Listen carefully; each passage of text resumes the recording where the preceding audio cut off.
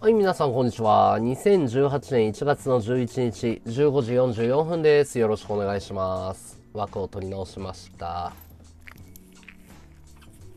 のんちゃん一般席取れた。嘘、一般席取れた？お、よかったじゃん。確定。もう何席は番号決まってんの？決まってない？お、よかったね。他に振り込む。20日に振り込み？いやほーのんちゃんいらっしゃい。ちょっとね、最近ジムに通ったりとか、あのーなんだろう、シルバーアクセサリーの時間で、ちょっともう2000円とか3000円しか1日稼いで、稼げてない日が多くて、もしよかったら、あのアイテムでご支援よろしくお願いします。助けてください、皆さん。お気持ち、お気持ちいただけると嬉しいです。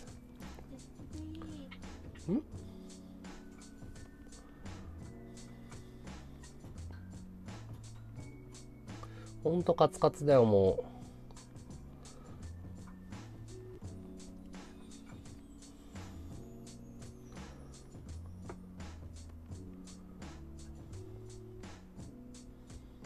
ててれー。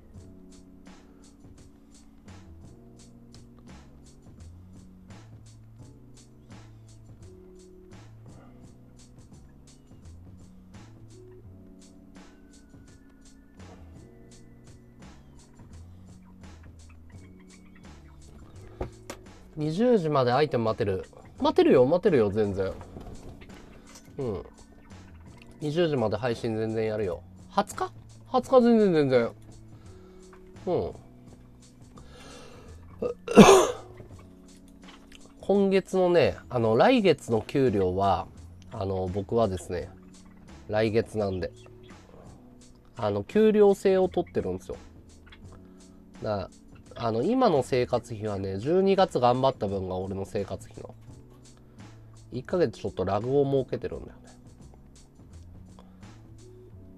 あ捨て頃一般席取れた？あよかったね。じゃああれじゃん俺の彼女とあの近い席になると思うよ。のんちゃんも一般席でしょ？一般席。あじゃあダブル飲んだよ。ねえ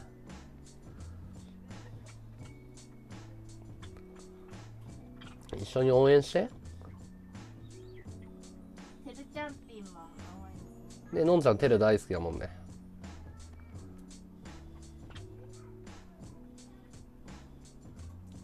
テルとワドを応援して？一緒に。TCP。TCP TCP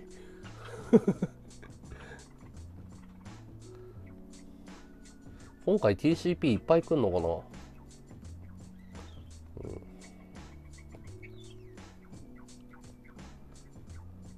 前回 TCP そんなに多くなかったかな。TCP あの時男が多かったんだよね。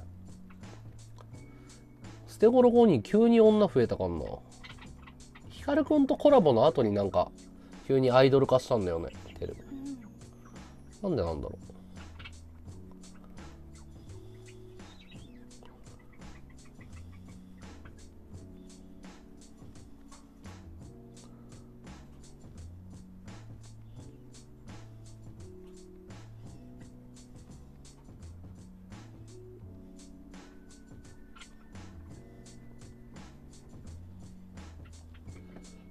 やアイドルでしょテルは。コメント黄色い声ばっかりだもん。完全なアイドルでしょ。キャーキャー言われてるぞ。てるくんてるくんキャーキャー。せやでほんまやな。そうなん。そうなんって言う言わないよくてる。言うよね。せやなーって。つい関西弁じゃないよね。三重だっけ？てるは。柔らかい関西弁なんだよね。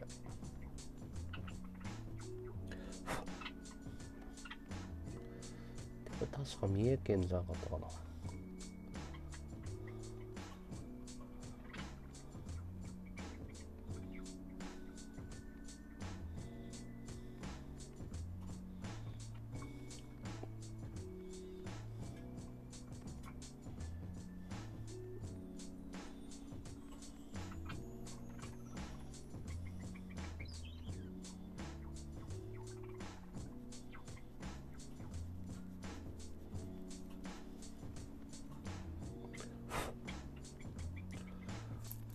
完全にアイドルでしょてるはスマップ TOKIO TCP ですよ。ビッグバン TCP 最近韓流アイドルもで出てきた日本人。ニー君。え？ニー君って言われてニー君って言われてんの？日本人は、うん、俺はアイドルじゃないから。俺は俺はあのハリウッドスターだから ハリウッドスタージョージ・クルーニーそう路線が違うからちょっとやっぱハリウッドリュック・ベッソン監督だからこっちはマーティン・スコセッシ監督に可愛がられたい。Z の法則さんいらっしゃい。あ、ニークも LINE してるんだ。狭い世界だよな、本当に。来日。え？来日。何来日って？何何？どういうこと？面白い来日。え、どういうこと？なんか頭の中で勝手にストーリー進んでるから分かんない。何来日って？日。日本語学校でさ通ってるじゃんこっ留学生でしょ？違うの？マーティン・スコセッシ監督が何の作品作ったか俺知らないんだよね。ごめん。何作った人はマーティン・スコセッシ。マーティン・スコセッシって言いたかっただけなんだよ。すごいよね。作品名知らないのに監督名出てくるって逆だよね。どんだけ有名なんだ？マーティン・スコセッシ。何作ってる人？マーティン・スコセッシ。って佐藤さんはのりこさんいるでしょ。そうだよ。TCP、T、だけど彼女 TCP だけどね。日本人も見てるけどね。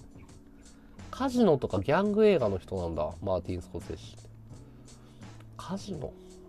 えなんて作品だろう。いや映画監督なのは分かってますよ。映画のタイトルが出てこないんですよ。なんか見たことあるかなマーティン・スコセッシ監督の。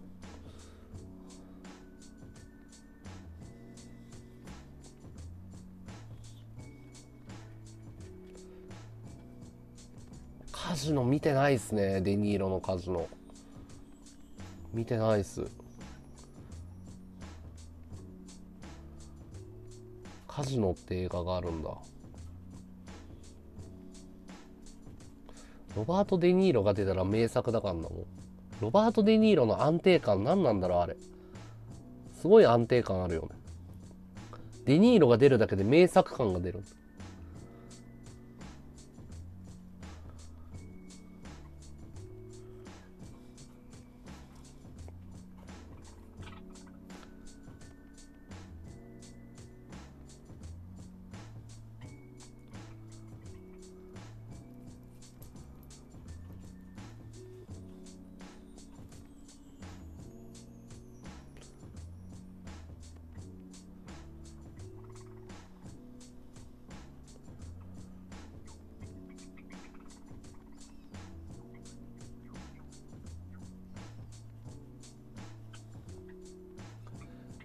ブ・ニューヨーク。あー見てねえな。見てないっすね僕マーティン・スコセッシ。見てねえわ。一個も見てないかもしんない。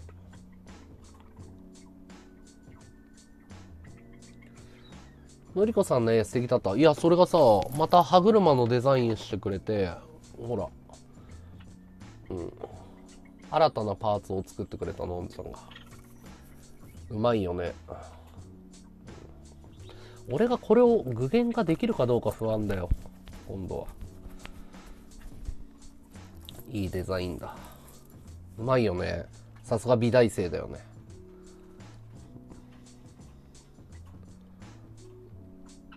うちの美術スタッフでもあるからね。彼女兼美術スタッフだから。クリエイターのりこ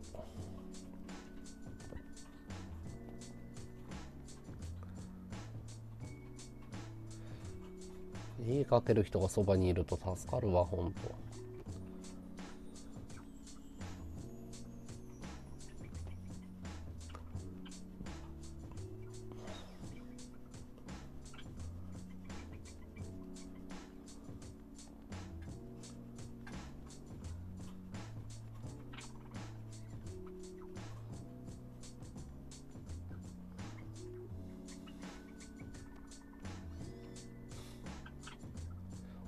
おい、よいこさんいらっしゃい。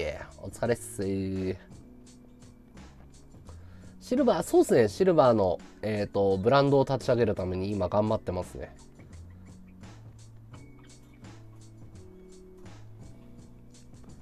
作品買う人ね、今のところ半々ぐらいかな。6ぐらいで女性若干多めかもしんない。うん。女性ちょっと多いかもね。初見さんいらっしゃい。楽しんでってください。和ドです。うん、で、結構、その女性に受けたいっていうのがコンセプトだから、男性もつけてても嫌味にならないような感じだけど、女の人に可愛いって言われるようなデザインにしたいです。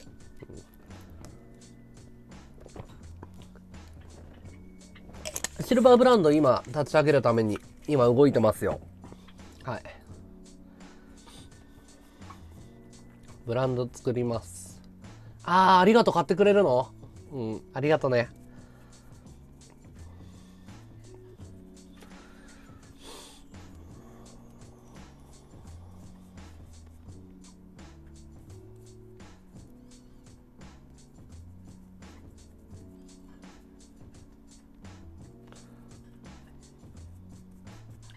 2K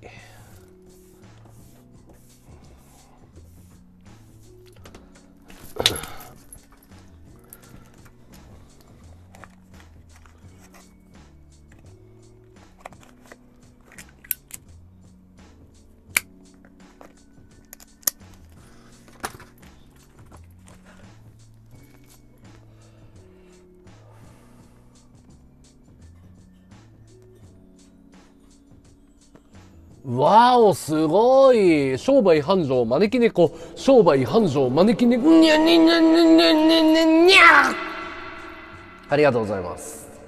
匿名さん花火ありがとうございます。招き猫売ってるんだ。ありがとうございます。あざーす。ありがとう。いい感じだよ、ルーターで削って、ほら。中抜きしてる、今。いい感じに綺麗綺麗な形になってる。おお2個も買ってくれんのありがとう。でもあれだよ。プレゼントしてさ保存用とかいいんだよ。コレクコレクションはいいんだよ。つけてもらいたい。バンバンに。でちゃんとあの刻印もするから。あの製品ナンバー入れるから。バンバン使ってもらいたいね。やっぱ道具だから。お守りだからさ。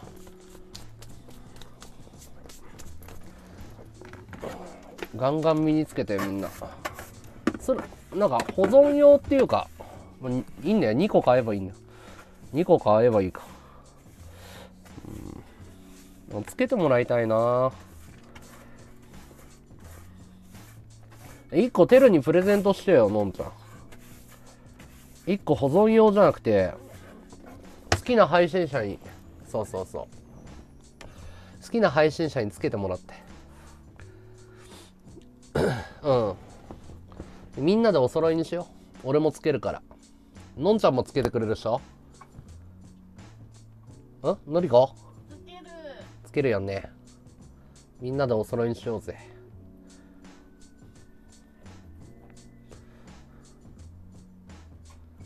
テルはつけてくれると思うよ。あいつ結構友情深い方だから。テルは頼んねつけてくれるっしょ。まあ、のんちゃんからプレゼントしたら絶対つけてくれるっしょ。うん。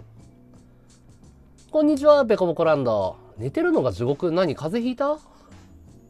大丈夫？風船ありがとう。ていうかさ、花火の値段が下がったんだけど、何なのこれ？花火の値段450円になってない？びっくりするんだけど。ちょっとなんか収入が目減りしてるんだけど。なんかおかしいなと思ってたら、設定変わった？インフルエンザか。なんか流行ってるよね。配信者も結構風邪ひいてるよね、今。流行ってんの？気をつけないと俺も。インフル大流行か。ゆっくり休むんだよ。ああ、そっか。花火の値段コメント数によるんだ。え、コメント数がどれくらいいったら花火500円になるの？あそうなんだ。知らなかったな。閲覧だったっけ？あそういう法則性あったっけ？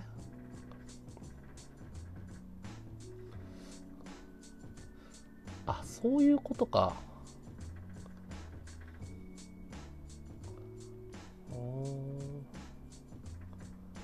ほ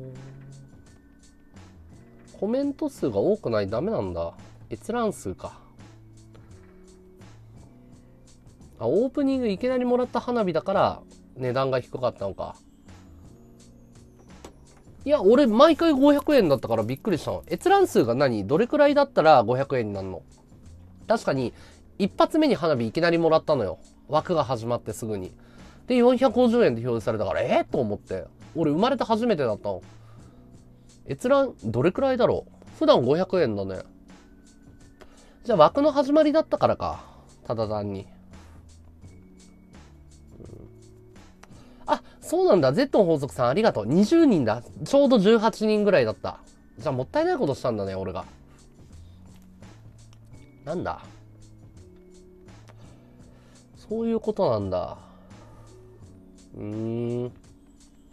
でもね、お金払ってるリスナーさんは同じ1000円投げてるんだからね、ちゃんと払うべきだと思うけども。まあまあ、閲覧増やそうって頑張るからいいのか。うん。ありがとう教えてくれて。Z の法則さんいい人だな。っていうか、俺の方が長くやってんのにね。あ、後で上がるんだ。じゃあ、じゃあ、全然いいね。うん。みんな風邪ひかないようにね。ペコポコランド風邪ひいちゃったか。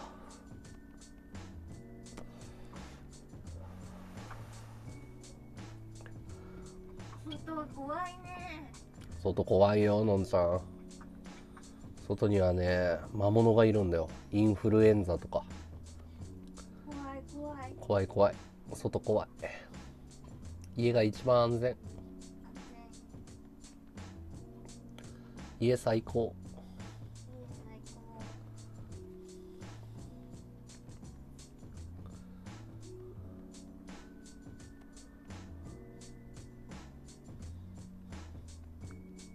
激震した。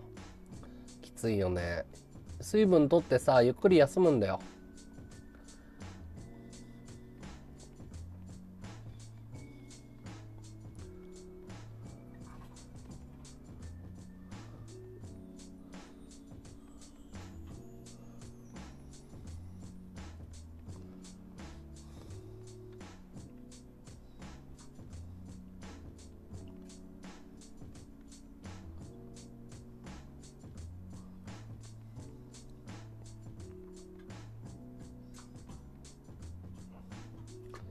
い、赤ラークさん、お疲れっす。あー、ありがとう。バーガーありがとう。あざーす。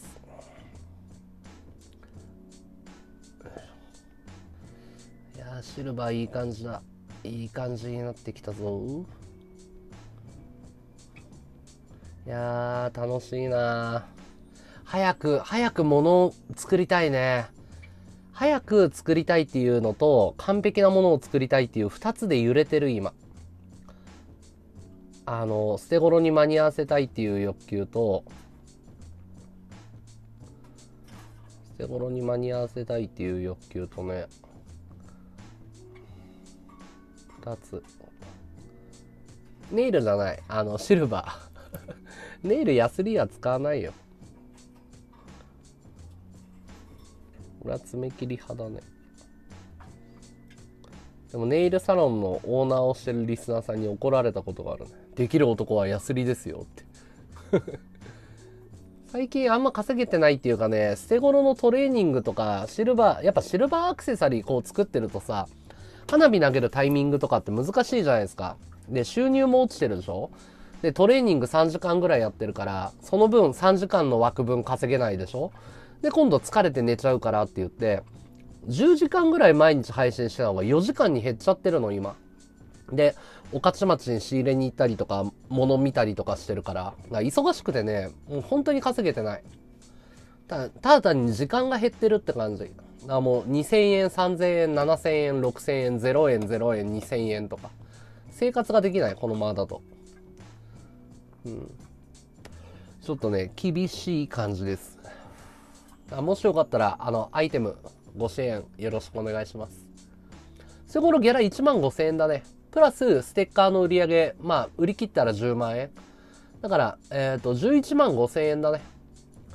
まあステッカーは自分で売ったらねその分ギャラになるって感じだから。だから11万5000円。で買ったらえっ、といくらだっけ？買ったら1万プラスかな。だからその事務代とかあの稼ぐって感じ。自分で稼ぐって感じだね、だからステッカー買ってもらえると嬉しいです。結構ねでもみんな支援してくれて。貯金あるの？貯金ないね。こここに小銭があるぐらい。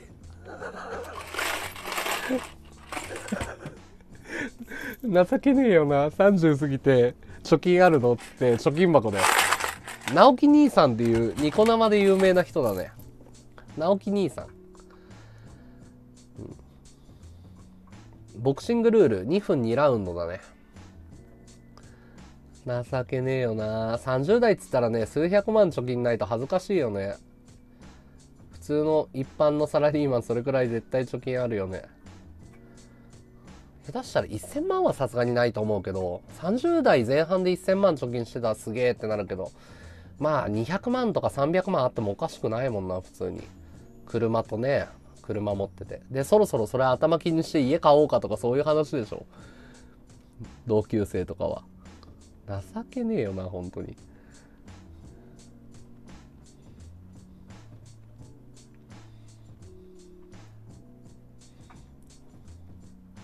小銭じゃらじゃらですよ。マガありがとね陸軍少佐。イマジン森田さんいらっしゃいワード2カラステング？サムネ。いらっしゃい。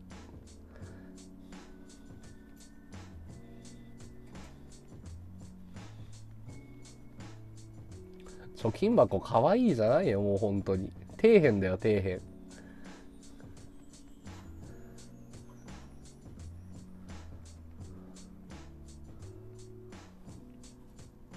天狗だ。天狗いいよね。天狗かっこいいよね。いいサムネだね。天狗って何者だったんだろう。今でいう仙人とかだったのかな。なんか諸説あるよね。そのユダヤ人だったとかさ。あと陰陽道の修行僧だったとか。天狗って何者なんだろう。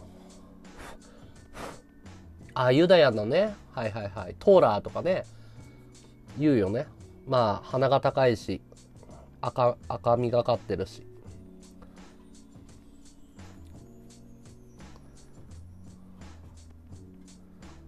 まあ多分俺もユダヤだったんじゃないのかなとは思うけど。ユダヤ十子族が流れてきたのかな日本に。ロマンがあるよね。そうそうそう。じゃああのユダヤ十子族ってさ旗氏から来てる家系じゃん。あの百済百済から3世紀に入ってきて旗氏とか柚月って名乗ってて。で俺本名島津なの。で旗の家系なの。だから思いっきりさほら鼻が高くてさっていう。その陰謀論の末裔の家系だから。そう。結構ねそういうの調べてさ。そうそう。だからみこしとかも面白いじゃん。だからああそういうのあんのかなって。まあね日本人が外人見たことない時にさ山奥でさ隠れ住んでたユダヤ人見たら天狗だってなるもんね。島津はねあのうちの島津は文家の島津だからあの家紋はね丸二十の字なんだけど山辺に鳥っていう方の島津なの。だから本家の方じゃないよ。文家文家そう。あの成明の子孫ではあるんだけどあの本家系の家系ではないの、うん、あ何？Z さんと森田さんは結構かぶるの？見る放送。それとも Z さんのあれなのかな？リスナーさんなのかな？よく名前負けしてるって言われるんだよね、お前島津の名前名乗ってんのかよつっ名字負けてるぞお前ってよく言われる。うん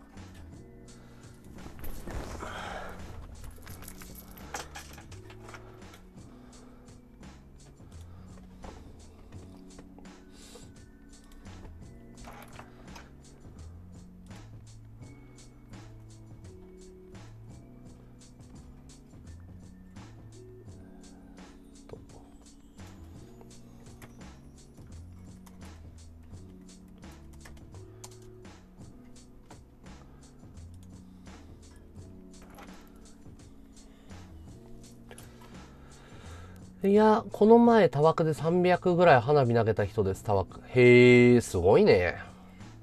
私、和道さんって戦国時代のお父さんみたいなのが。あ、だから、その、あれだよ。のんちゃん、あの、今その話してたの。薩摩藩ってわかる？聞いたことある？西郷隆盛とか、篤姫とか聞いたことある？篤姫っていうのは薩摩藩のお姫様の名前の。鹿児島の薩摩藩のお姫様。で、西郷隆盛っていうのは薩摩藩のその軍隊を率いてた要は薩摩藩の主の部なんつうの武将だったのね。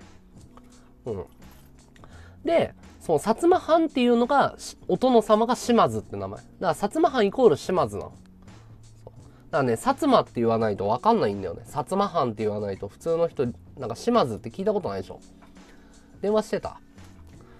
いや歴史に詳しくないですよ僕。全然。だからその武士の家系なの、うん、あれ？ベヌム。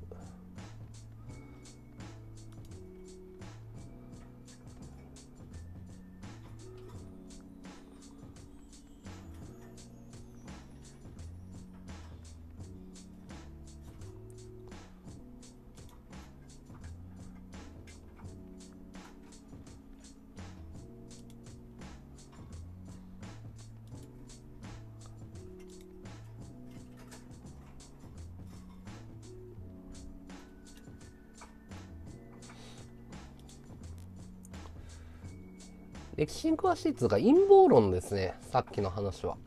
陰謀論。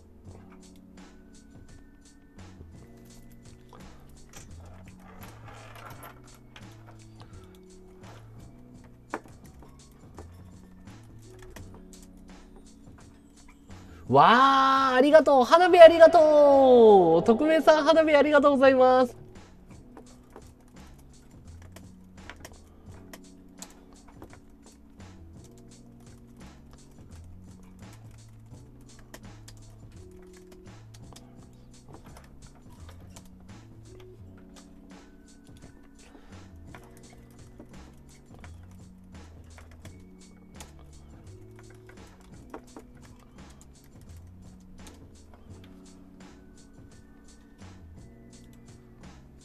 招き猫100個投げたことあんの？招き猫100個？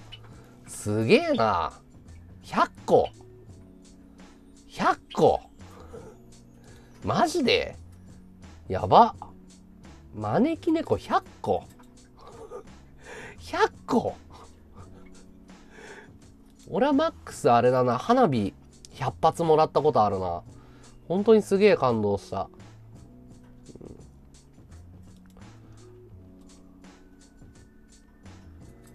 花火100個はもらったことあるね。それがマックスかな？今までで。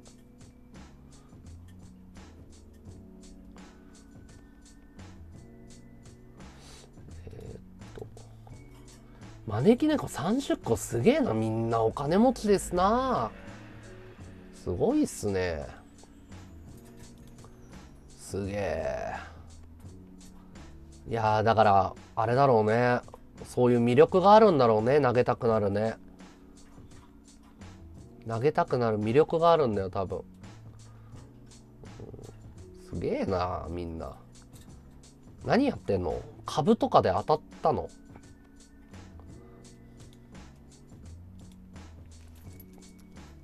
株とかですか？わかんないけど。そういう世界のことはよくわかんないけど、うん。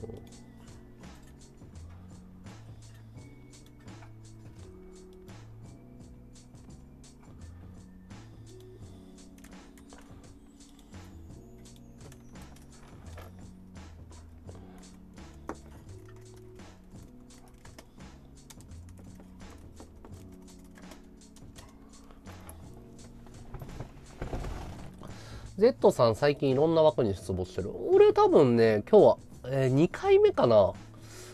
1回どっかで見たことあるか、もしくは1回なんか挨拶だけいただいたことあるか。今日、絡みは初めてかもしんない。うん、ふあ、不動産。不動産。すげえな。不動産な、資産ってすげえな。まあ、株とか FX とかビットコインとか不動産とか、まあ多分一生で多分縁がない話だと思ってる。多分一生、一生その縁がないと思ってる俺は。うん。多分シルバー作ったりとかお店やったりとかはやるだろうけど。そういう頭のいい職業は無理だな。お父さんの秘書さんに怒られた。あ花火投げすぎだって。怒られちゃった。うん。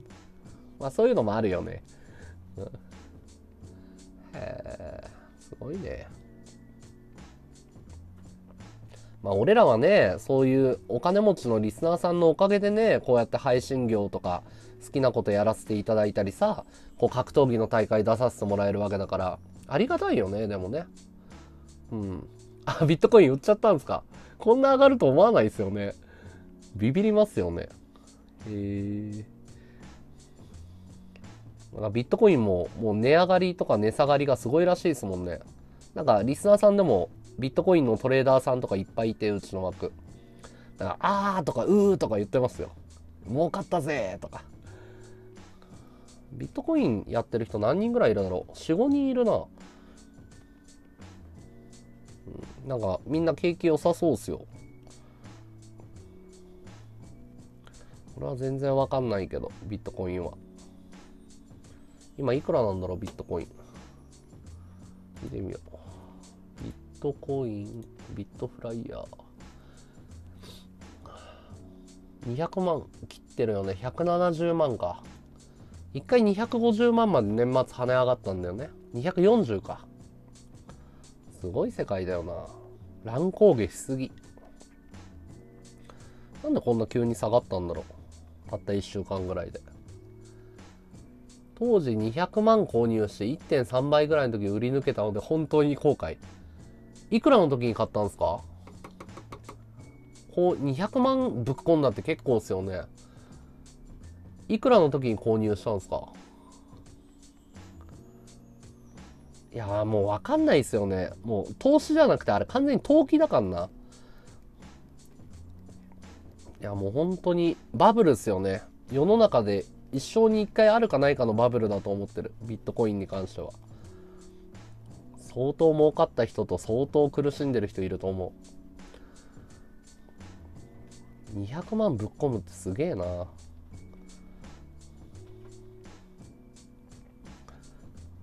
まず種線がないもん。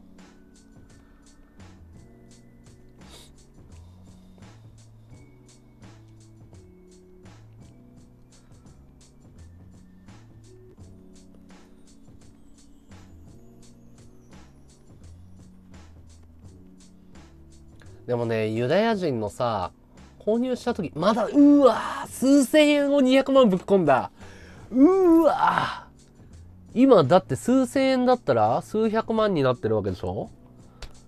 え、100倍だから2億とかになってる可能性があるってこと？やば。そりゃ後悔しますね。寝かせてたら、今売ってたら、2億とか3億とか手に入ってんだ。もったいないっていうかもう、ねわかんないね、本当に。それをさ、1.3番儲かったからラッキーって考えるのか、その、オプチュニティコストを逃したって。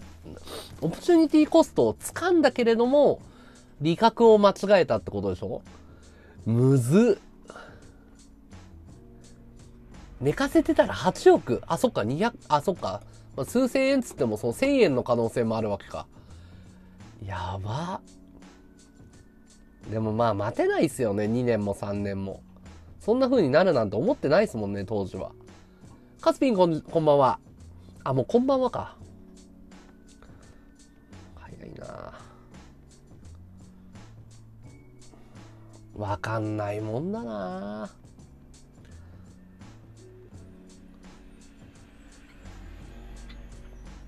俺はもう一発の花火で明日生きていけるか今日生きていけるかっていうギリギリの排水の陣みたいな生活を1年やってるからね。ビットコインどころじゃねえよ本当に。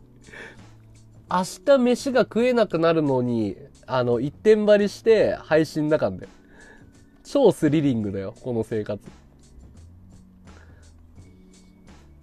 旦那の知り合いの証券会社の人に全て丸投げしてたのでそれ以来株とかは苦手になりましたああ証券マン使ってたんですね。でもまあ不動産は日本の場合硬いからいいですよね。家賃収入とかも硬いし。日本の不動日本ってなんでそんな不動産振興があるんだろう。なんか中国人が日本の土地買いたがるのってあれ共産党に持ってかれちゃうからなんですよね。国から土地を借りてるっていうので日本の場合その本人が所有できるっていう感覚があるじゃないですか。だからその代々引き継げる資産っていうことでその中国人が日本の土地を登記で買ってるみたいですよね。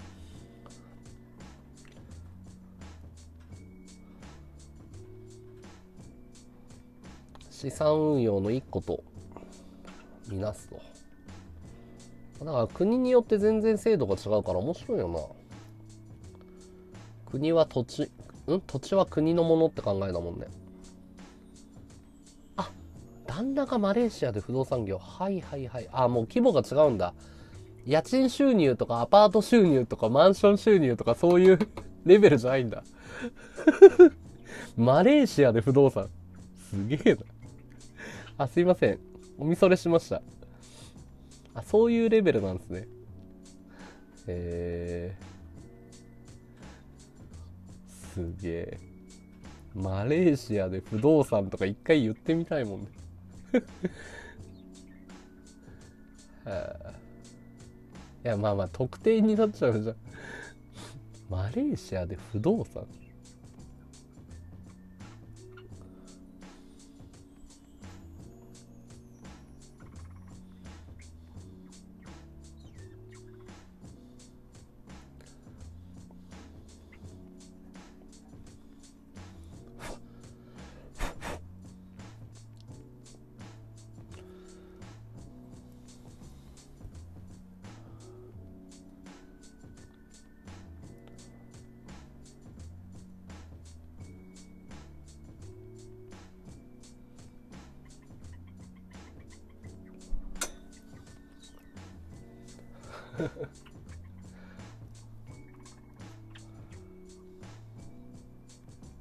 可愛いですよね。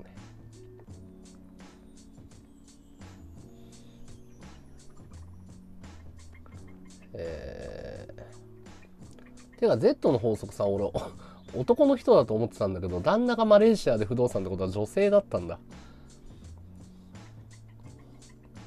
俺はてっきりすいません男性の方だと思ってました。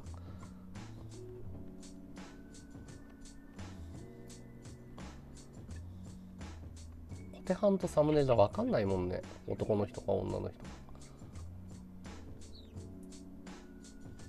ちなみにコテハンの由来って何なんですか Z の法則ってもしよかったら勉強させてください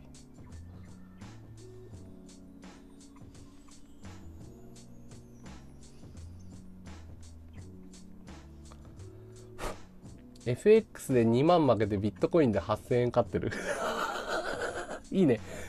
そういうのいいね。そういうのいいよ。そういうのはいいよ。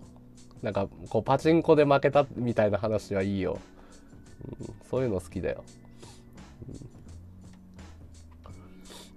うん、もう多分さ億万長者になるとさ俺らの1万円の感覚とさ億万長者の人の1万円の感覚って全然感覚が違うんだろうね。わかんないけど。ん。いやいいじゃん。香ばしいじゃん。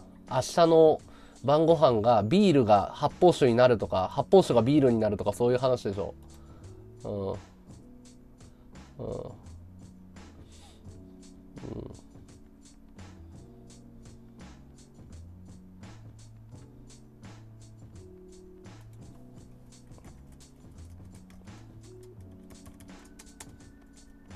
えマジで？えリスナーさんがグローブ買ってくれるのかなこれ。えどういうこと？えマジか？これ買ってくれんのか？えリスナーさんがグローブ買ってくれるかもしんない。ヤッホー！え、買ってくれんの？これなんだろう？買ってくれんのかな？え、マジで？ちょっと待って、バグったバグった。え、リスナーさんからメール来た。マジか買ってくれるって。え、マジで？のんちゃん、リスナーさんが、グローブ買ってくれるって。やったーやったーおー Z の法則っていうのが会社の法則なんだ。え、どういう、え、なん、どういうことなんだろう。いや、超嬉しい。グローブ買ってくれるって。うわ、めっちゃ嬉しい。なんかバンテージも買ってあげるって言われたけど、バンテージ確かにボロボロなんだけど、あるんだよな。バンテージ。バンテージもボロボロだけど、でもなんか、まだ持ちそうな気はするんだよな。くさっ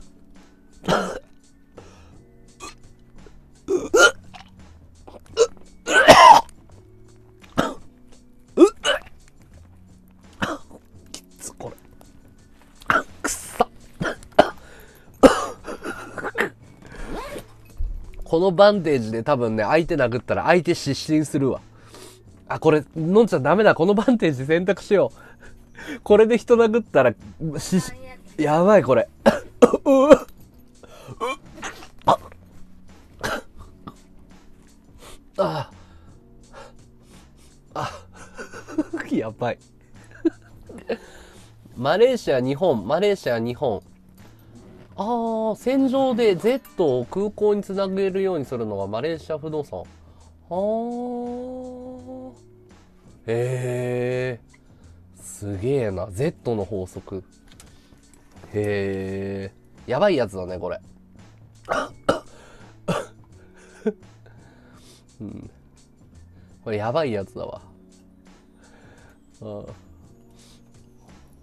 あ 逆にこれでいこうか。このバンテージで直樹兄さん殴ったら勝てる気がする。一発パンチした瞬間に相手吐血すると思うよ。かすっただけなのに。うわっつって。何っつって。当たってないはずなのに。つって。うん。当たってないのに相手が血吐いてるぞ。つって。かかったな。必殺パンチ。めっちゃ臭かった今。びっくりした。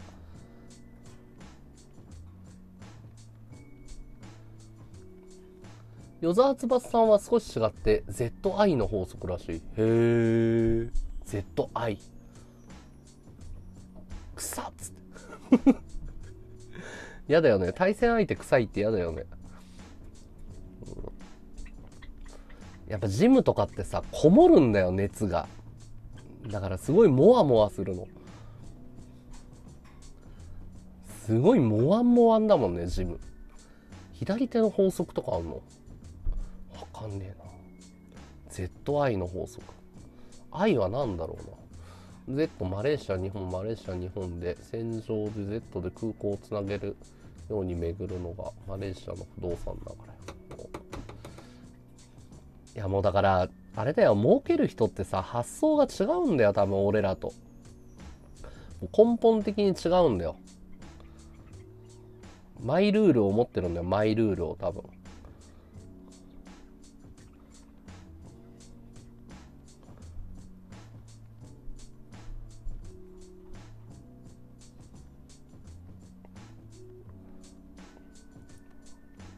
ダメだ俺には詳細はないね。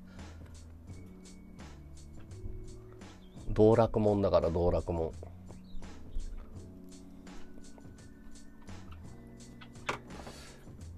すっかりトゲがなくて。おうゆっこさんいらっしゃい。久しぶりじゃない？ゆっこさん。どうもどうも。なんか LINE がバグったな。なんだろうこれ。ちょっと LINE がバグってる今。ゆっこさんなんか超久々な気がすんな。トゲトゲあった？俺。あよせ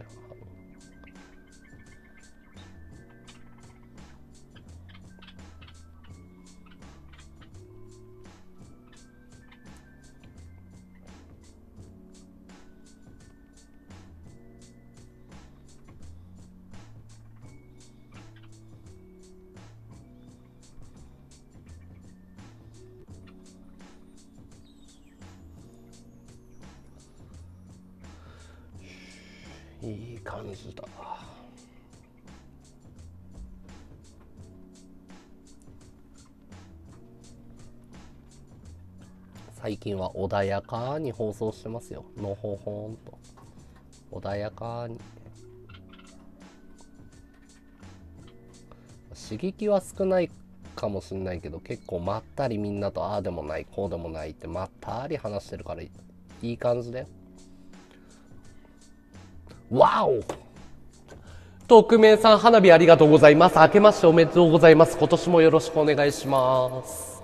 ありがとうありがとう一緒にいい年にしましょう、匿名さん。ありがとうございます。来た来た。ありがとう。あおお、マジか。おお、意外だな。ありがとうございます。よろしくお願いします、匿名さん。すいません、なんか。意外な人からいただいた。意外な人からありがとうございます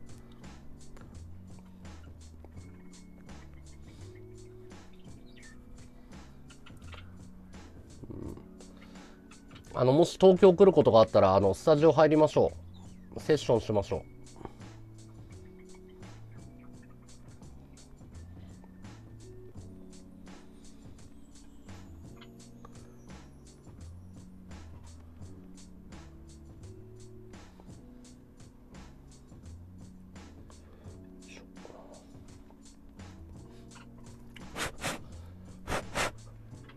こんにちは、アロイス。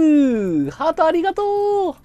主さんは月1でイベントの日とかあるんですか？えーと、今考えてるのは、えーと、今月の末ぐらいに、えーとですね、生活保護のケースワーカーを11年やっていた、えーと、早稲田大学卒業で、現在、行政書士の、え、小川祐樹さんという方と、え、ゲストにお招きしてですね、えーと、生活保護完全マニュアルといって、えー、生活保護の、えー、専門家なんですね、小川さんが。で、生活保護に対する番組をちょっと一番組、えー、とやろうと思っているので、ぜひぜひ、あのー、こういうのに興味ある方がいたら、ぜひ YouTube の方にね、動画アップロードするので、ぜひ見てください。はい。こういうイベントはやろうと思ってますね。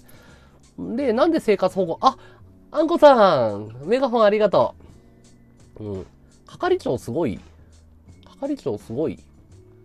こんにちは。係長ってなんだろう？うん。うん。チャンス到来？な、何が？何がチャンス到来なの？ごめんごめん。ちょっとよくわかんないんだけど。えーとね。で、まあ、僕自身があの、えっ、ー、と、今から何年前だろう？4年前ホームレスだったんですよ。ああ、それね、のんちゃんにも言われた。なんで裸なの？っていう。よくわかんないけど、潜在写真なぜか裸なんだよね、俺。でね、4年前ホームレスで、で、そっから、その仕事が見つからなくて、漫画、ネットカフェ難民になって、東京で。で、その、もう自殺も考えた時期があって、で、どうしようもなくて生活保護になってっていう経緯があったんですよ。特命係長が昨日すごい花火連発してたみたいなの。へえ、そうなの？へえ。イベントロックオン？まあ、イベントって言っても放送だよ。うん、放送放送。で、まあ、この番組は、その、俺自身がさ、その生活保護でやっぱり苦しいんだけど、そっからやっぱりその配信っていうものに出会ってさ、まあアルバイトしながらだったけど、今配信でやっと1年間食わせてもらったから、なんかその生活保護で苦しんでる人とかを、なんか役に立てないかなと思ってて。だから自分のライフワークみたいな感じですね。その同じ環境の人とか境遇の人でも、なんかこう正しい知識であったりとか、ななんか恩返ししたいなと思って。で、まあ、やっぱりその、俺が語ってもしょうがないから、あの、ちゃんとしたゲストっていうのをお招きして、その人とその生活保護に対して、ちょっと語り合いましょうっていう。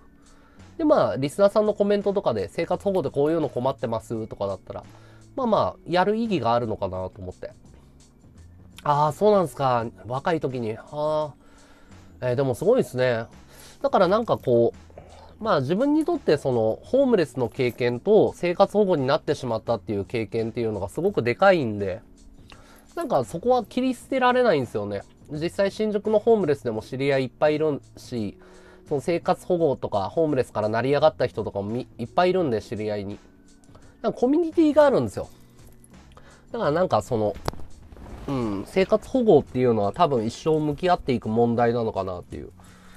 そう、どっからそうやって生活保護から再起するのかとか。本当は NPO とかやりたいんですよね。うん。40歳ぐらいで資金が貯まったら、NPO とか、その、まあ、あのー A 型作業所って言われて、その、障害者の方が働く施設とかがあるんですけど、まあそういうのは考えてます。まあ、あと、いろんなことやりたいんで、今は、その、捨て頃って言って、あのー格闘技のイベントがあるんですけど、配信者の。それで今、ボクシングにトライしてるっていうのと、あとなんだろう、シルバーアクセサリーを、ブランドを立ち上げたいっていうことで、今そのシルバーを、の超銀紙っていうんですけど、シルバーアクセを作ったり、金とかプラチナの指輪とかを作る、この30年間、そういう超銀の世界にいるっていう人がいて、で、その人とコラボレーションをして、こう、教わりながらシルバーアクセサリーとかを、こう、ブランドを立ち上げようっていう、そういうことをやってますね、今。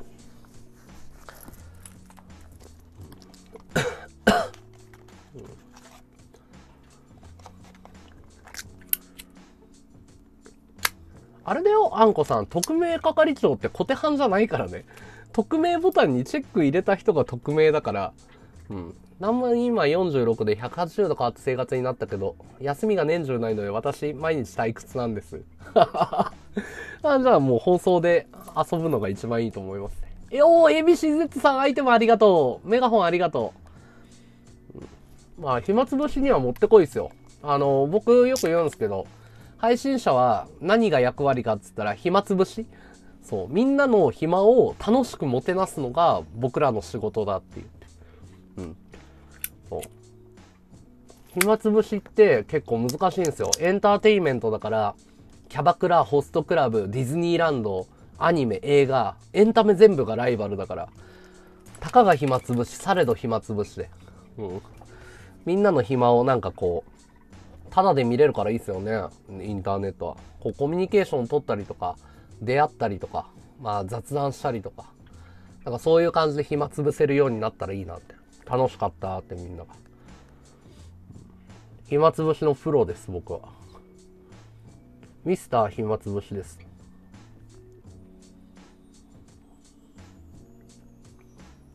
あ、全然全然大歓迎ですよ。もしよかったらフォローしてください。あの、Twitter とか Facebook、YouTube とかいろいろやってるんで、ぜひぜひ大歓迎です。よろしくお願いします。普通つかものですが。うん。で、森田さんもね、ぜひぜひせっかくのご縁なんで、ぜひフォローしてください。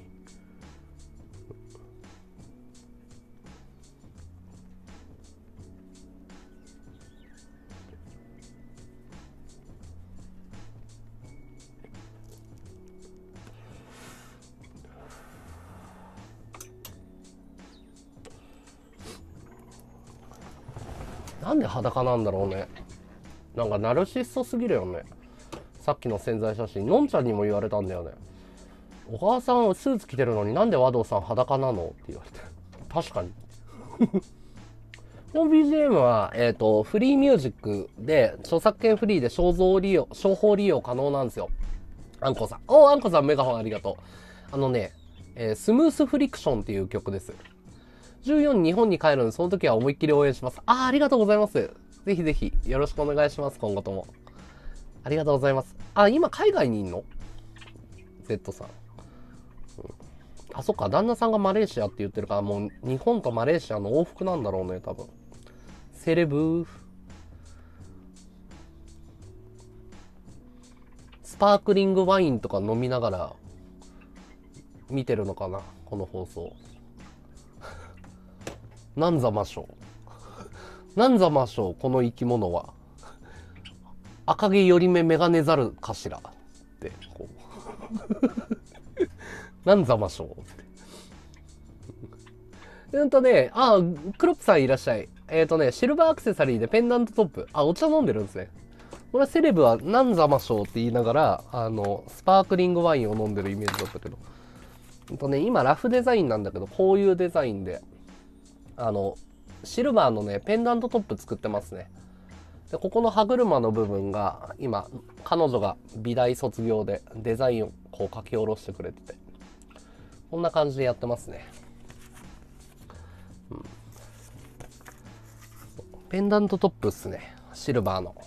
ロストワックス製法って言って、あの、ろうそくの硬いやつみたいな、ワックスっていう素材があるんですよ。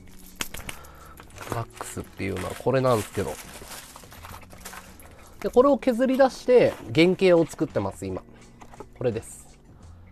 そうこれがワックスって言って。フィギュアとかも作れるんですよ、これで。長野の田舎なので、鉛あるおばさん。長野って鉛あったっけ？あんまり鉛のイメージないけどな、長野って。長野鉛あるんだ。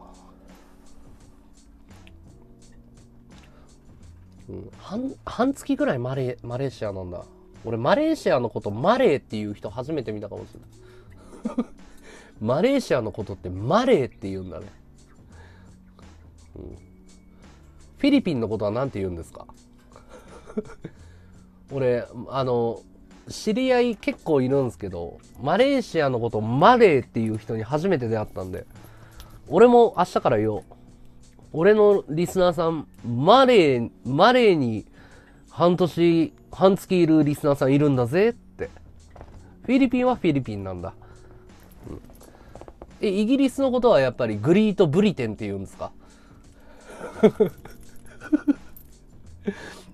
United States of America。USA! USA!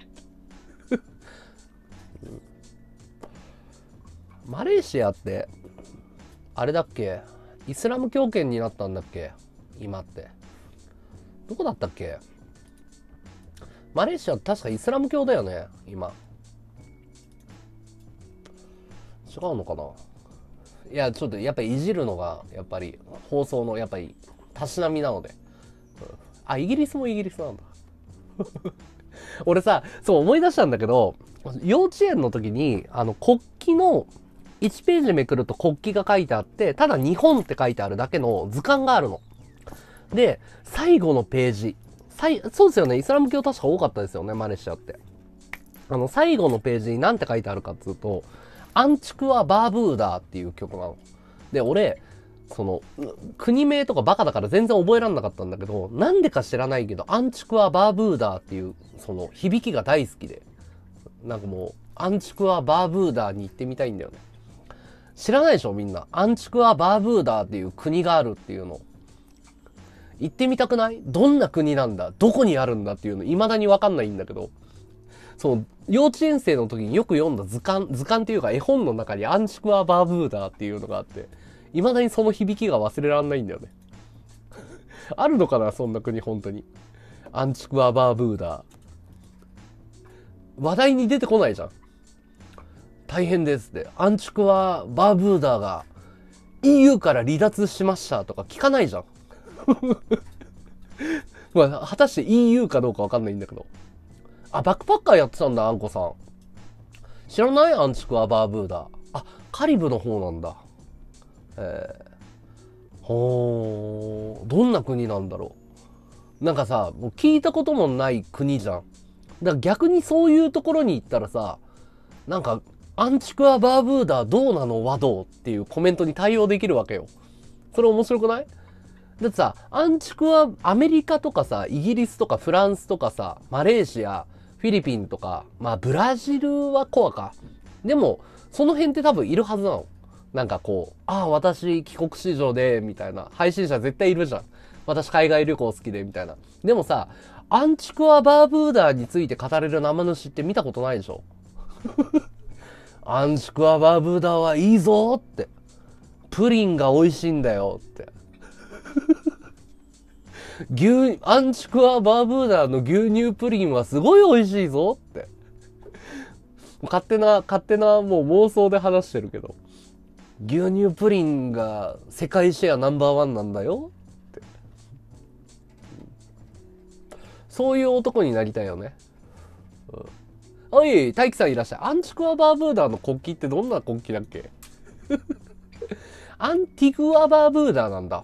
俺がその時はアンチクア・バーブーダーって書いてあったアンチクア・バーブーダーって書いてあったよそのあの絵本にはアンティグア・バーブーダーなんだ正式にはアンティグア・バーブーダー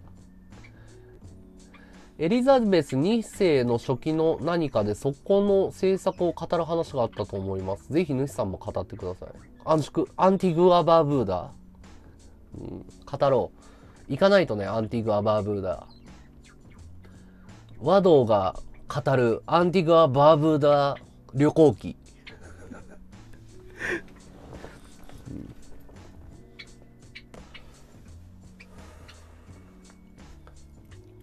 なんかそういう、なんか、こう、知らない国に行きたいね。行きたくなってきたね。アンティグア・バーブーダ。夢の国。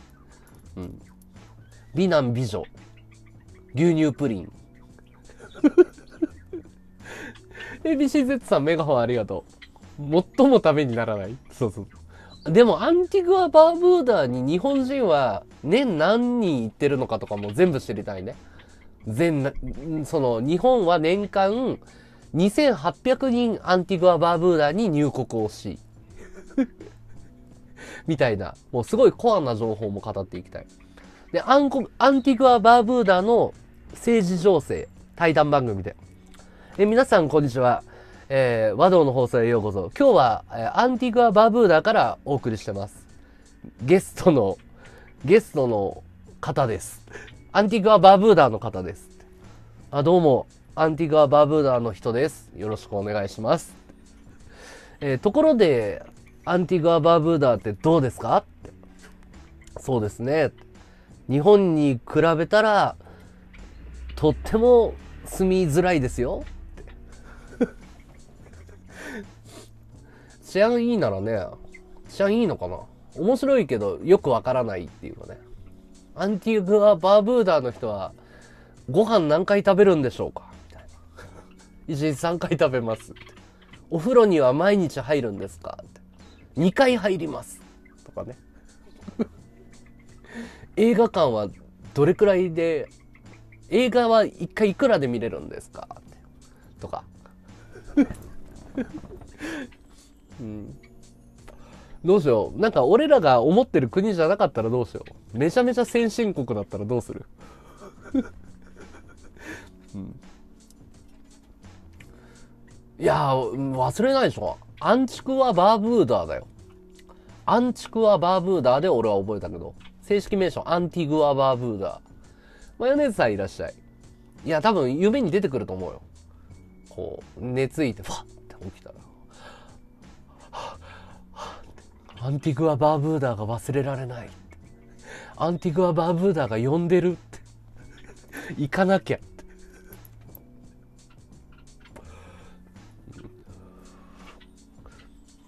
まずね、さっきね、あの、Z の法則さんがね、あの、カリブの方ですねって言ったけど、俺はカリブがどこにあるのかよく分かってないからね。うん。カリブってどこにあるの？パイレーツ・オブ・カリビアンだから、カリブ、カリブ海だから、えっ、ー、と、海だね。海の方だね。で、海がある国を考えよう、みんな。カリブってどこにあるんだろう？カリ、パイレーツ・オブ・カリビアン。カリブってどこ飲んじゃんメキシコえ、じゃあアメリカの方ってこと？俺、アンティグア・バーブーダはもっとロシアとヨーロッパの辺境の国だと思ってたんだけど違うの？もっとなんか、あったかい国なんだ 寒い国だと思ってたら、あったかい国だったね。あ、メキシコの方なのか。全然イメージと違ったな。ってことは牛乳プリンはシェア取ってないな。いろいろ見えてきたね。ブータンがどこにあるんだろうね。でもブータンに、そうそうそう。ブータン、そう、国境を越えたらブータンみたいな感じだよね。イメージはね。イメージだけで語ってるから。大丈夫かな？アンティグア・バーブーダーの人怒らないかな？この放送。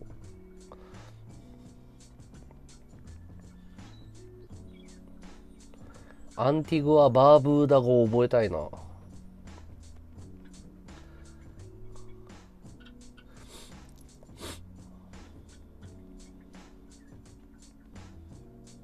奥様は旅行されるか？あ彼女ですね。奥さんじゃないですね。旅行どころか引きこもりで10年間家から出てない彼女ですね。コンビニに行くのをためらう彼女です。はい。結婚してないですよ。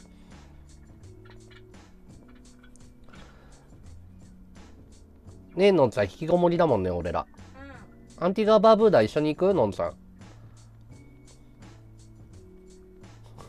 アンティガーバーブーダー行く？アンティガーバーブーダー。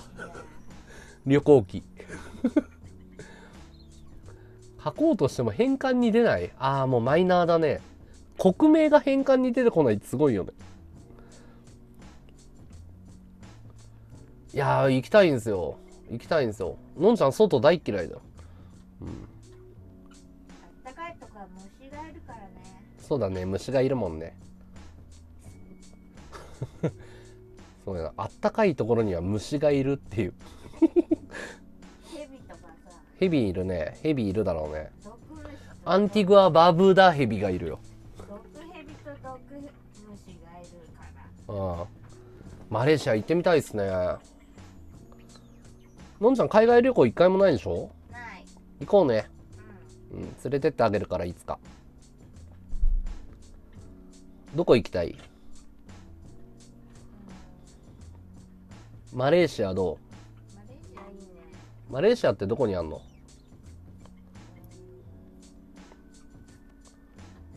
タイの上の方？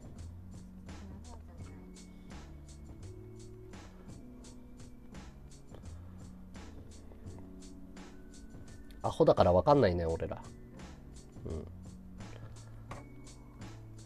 マーライオンがいる。マーライオンいんの？あれか。マレーシアだマーライオン見たいでしょ。マーライオンか。あれか。あの口から水いっぱい出すやつだ。シャーってね。あれマレーシアか、うん、あれシンガポールだって言われてるよ。惜しい。惜しいね、うん、シンガポールの上のあたり。シンガポールってのんちゃんどこにあんの、シンガポール？うん、シンガポールあれだよね。多分バンコクの上の方にあるんだよね。多分。バンコクの上にシンガポールがあってシンガポールの上にマレーシアがある。でマレーシアの上にロシアがあるんだよ多分、うん。多分。でそっから左に50個。左に50歩。あれ飛行船に乗って左に50え下に50行くとアンチクワバーブーダコントローラーの十字キーを左左左左って50回やって下下下下ってマス進んだところだよ。うん。あ寒いところばっかりなんだアンコウさん。いいね。バックパッカーかっこいいっすね。なんかカオス知ってる？アンコウさん。カオスももともと旅人だよ。カオスの放送合うんじゃない？面白いんじゃない？風船10個ありがとうあんこさん。カオスはあでもカオス最近なんかビットコインにハマってて放送やってないっつってたかな。そうなんかビットコインのねツイートばっかりしてるんだよね、うん。完全に取りつかれたんだよね。ビットコインに、うん。クソカスカオスっていう面白い方配信者いるんだよ。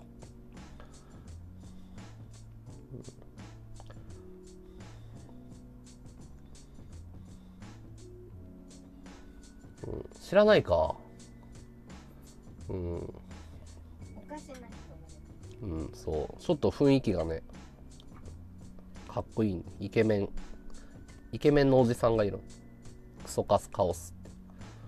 若い子じゃないよ。もう40え30後半？カオスは。いくつだ？イケメンのおかしな人。イケメンの変人だよね。うん。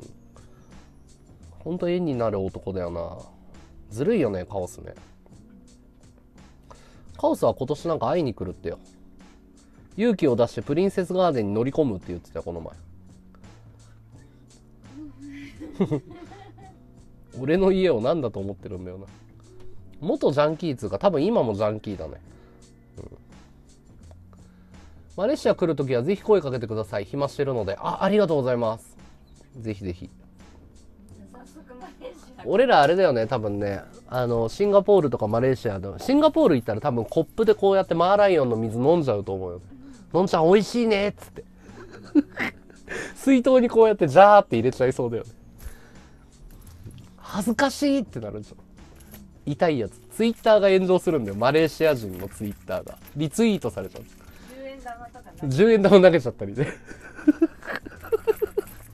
痛いやつだよ痛いやつこれなんか病気が治るらしいよっつってこの水飲むとつって。うん。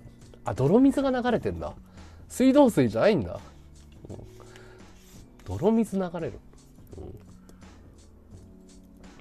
歩きタバコ捕まるんだ。ああなんか居眠りしたら捕まる国とかあるよね。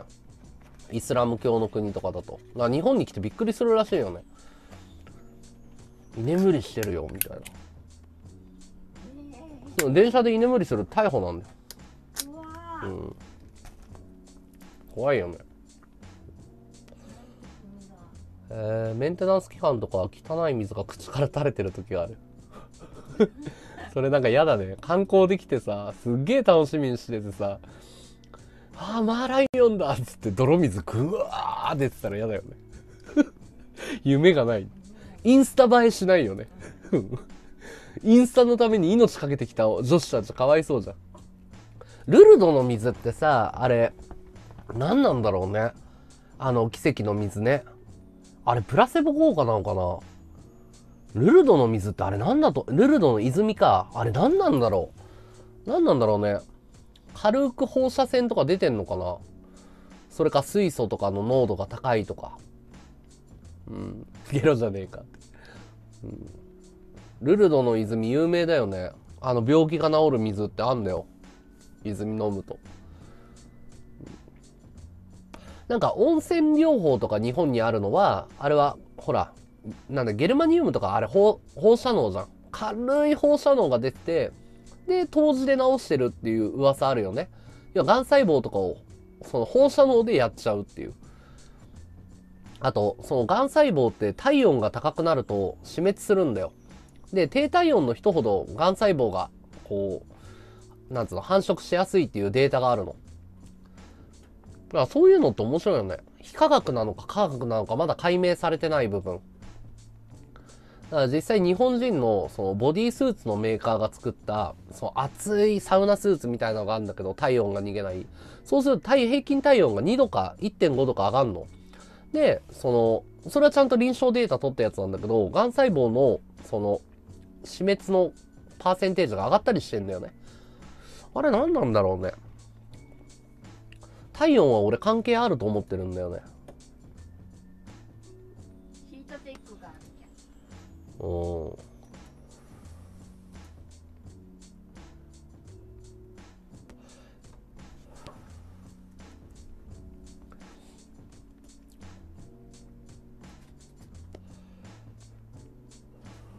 熱を出して風邪菌を殺そうとするそうそうそうそう。熱が出るってほら、免疫を過剰に上げて菌を殺そうとしてる作用だから、原理的には合ってるんだよね。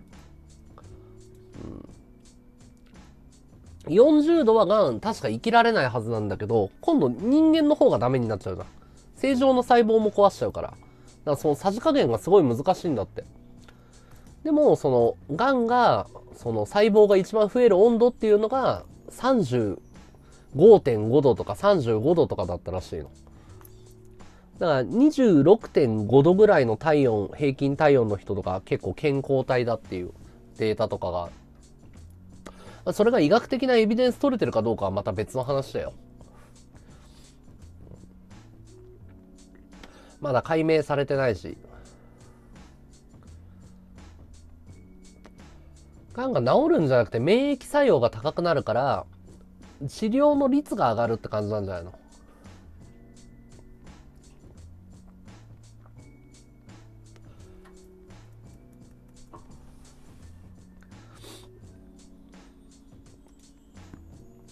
あ体はポカポカした方がいいんだ。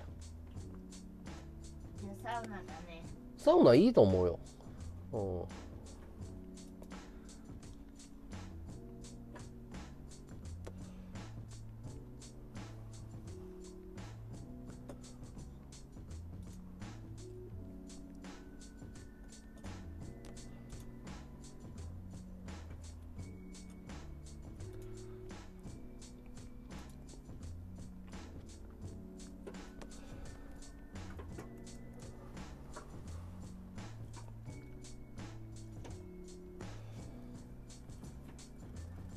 僕右利きです。右利きです。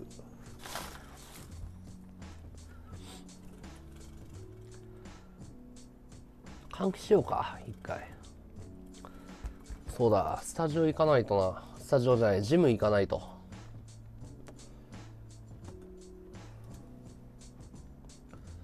あこってこての生粋の右利きですね。生まれながらの天然由来の右利きですね。空前絶後の右利きです。前代未聞の右利きですね。なんかいいね。こう頭に言葉をつけるとかっこいいよね。右利きですって答えるんじゃなくてね。史上最高の右利きですとかね。マレーでは危険なの右利きは。腹立つななんかマレーって言い方。だんだん腹立つな。何すかマレーって。え何？右利きはマレーダメなんですか？マレーでは。うん。へええなんだろうね。マレーシア右利き禁止法とかあるのかな？右利き。右利き。なんだろう。イスラムの人に右手で物を渡したら関係が終わるああ宗教的な理由だ。へえ右は不浄なもの？ん？なんだろうね。あそういうのがあるんだ。あじゃあ右手でご飯食べちゃいけない。左手でご飯食べんだっけ？カレーは？カレーはインドだね、うん、やめよう。どんどんバカなのがバレるから。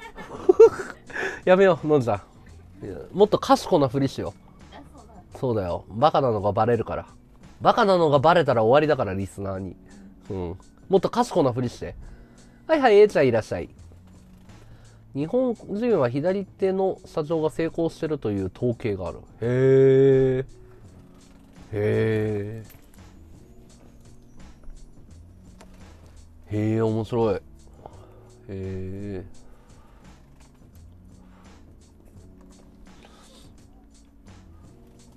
そうそうあのなんかさあのユダヤ人のさちょっと話変わるんだけどユダヤ人のなんか教えみたいなのがすごく面白くてなんだっけタルムードだっけタムルードだっけあれを日本語訳探したの読んでみたいと思って。ないのね。あのユダヤの教え。誰かもしくはあの本とかでさ書籍とかで日本語訳のさタムルードだっけタルムードだっけ忘れちゃったんだけどもしいい本とか知ってたら誰かあの DM とかで教えて。なんかね翻訳が完璧にされてないらしいんだよね日本で。ちょっとねユダヤ人の思考法をねちょっとエッセンスを取り入れてね賢のふりしようと思ってるんだけどなかなかね書籍が見つからないんですよ。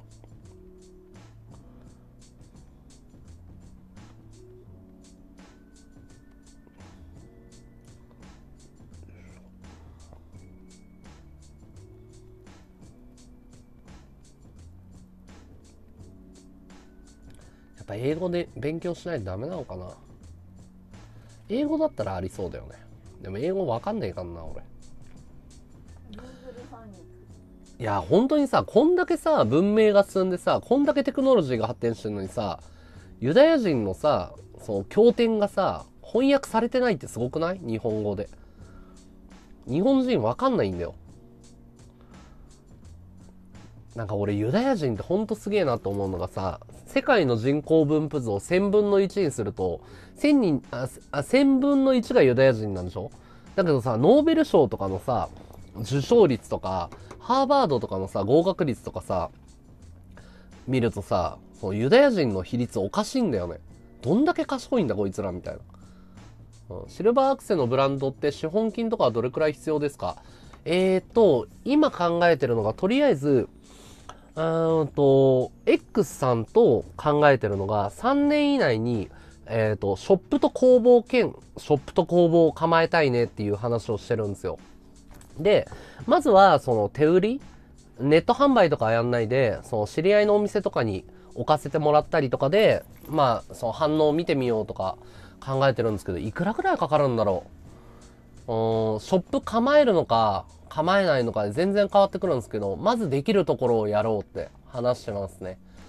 うん。で、まあ、売れるように実績ができてきたら、ホームページとか作ったりとか、会社登記したりとか、その、まあ、支援するって言ってくれる人とか、募ったりとか、段階を踏んでやっていこうと。ショップと工房ですね。場所は今、ちょっと、あの、今構えてるスタジオはできないんですけど、公表することはできないんですね。だけど、えー23区で、新宿の近辺で、えっ、と、やってるんですよ。今、あの、工房はあって。ただ、そのショップを移動するってなるとどうなんだろう。どこら辺だろう俺、高円寺とかでやりたいけどね。高円寺は無理か。高級ブランド。新宿か、新宿か、どこだろうな。どこでやるのがいいのかな。そういうのもなんかみんなと一緒に考えてやってますね。なんか、こう、X さんとかリスナーさんと、なんか、みんなで一緒に、こう、作りながら、どうやってやってったら面白いかなっていう感じで、なんか、僕は結構その、やりたいことはバーって言うんですけど、結構その、みんなで考えるっていうのが好きなんですよ。みんなで考えながら、みんなでこう夢を共有していくって好きなんで、まだそこまでビジョン、明確なビジョンはないかな。とりあえず3年以内、6月までに製品化をして、でやっていこうみたいな。マレーシア本店？うん。そうそう。ショップ兼工房は、まあ夢っすね。夢っすね、本当に。で、まあ、その結構技術力が高くて、あの、本当に30年やってる方がバックにいるんで、その技術は間違いないんですよ。実際そのハイブランドのデザインとか芸能人の指輪とか作ってるんですよ。個人のオーダーで。だから実績はあるんですけど、マレーシア本店なら応援したいです。いや、マレーシア行ったことないからな。そう、技術は本物なんだけど、職人さんだから、だから、そのマーケティングとかも一緒に考えてやっていこうっていうことで、その自分でブランドを持ってたわけじゃなくて、工房を持ってて、完全にその、自分でブランドやってくっていうことじゃなくて、作り手の人なんで、でも技術はもう本物ですね。そうパートナーの X さんは。僕のシルバーの師匠でもあるんですけど、ビジネスパートナーでもあるんで、まあ、ゆっくりゆっくり、あの、もうみんなで具現化していこうということで。うんどうなんだろうな。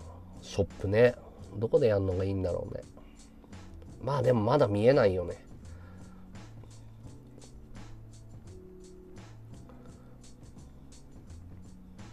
どこら辺に構えたら面白いかな。お店と工房。でもなんか新宿だったらさ、あの、配信者とかさ、いっぱいいるからさ、立ち寄りやすいかもね。新宿あたりに店構えたら。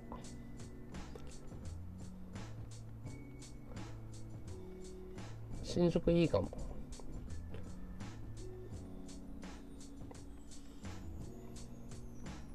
でも新宿家賃高えかんな。採算合わねえよな。最初、最初いきなり新宿っていうのは。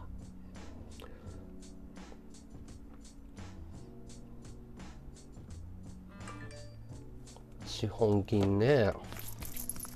いくらぐらい必要なんだろう。まあでも機材とか数百万のやつはスタジオにあるから多分、そんなに初期投資は必要ないんじゃないかな。店舗運営で回していくお金さえあれば多分大丈夫だと思うんだけど。うん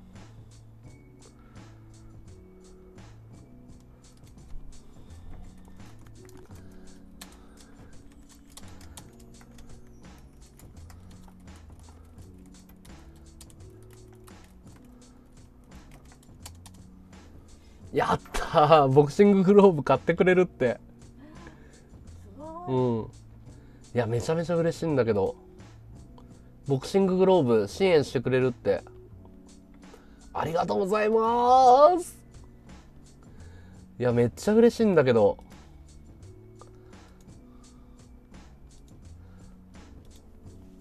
ネットショップはねあんまりやりたくないんですよ。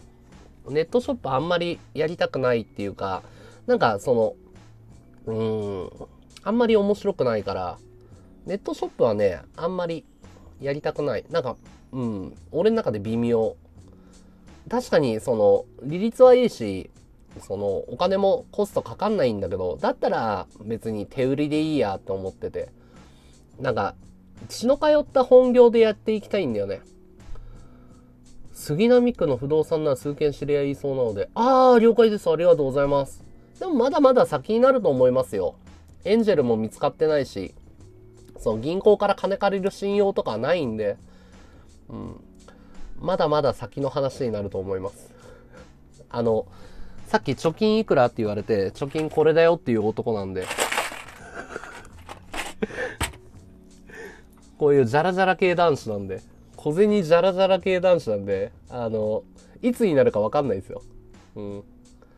エンジェルいないですね、今は。いや、マジだよ。貯金いくらって。資本金いくらって。資本金なんかねえよ、バカ野郎っ。つって。リステリンの箱にお前小銭ジャラジャラ系だよ。つって。エンジェルはどれくらいが基準ですか？もうもうそこもあんまり考えてなくて、なんかその、なんか普通に、いや、和道のこと好きだから、一緒になんかやろうよ、みたいな。なんか、ノリでみんなこう集まってくる感じなんですよ。うちって。だから未だに、その、バーとかもしやるんだったら、資本金全部600ぐらいだったら全部出すから一緒にやろうとか、未だに声はかかってるんですけど、前なんか水商売とかもやってて、お店とかも。で、なんか向いてねえなとか思って。特にあんまり考えてないですね。なんかみんなで面白いことできたらいいよねっていうだけで。うん。なんか結構道楽もんなんで、うん。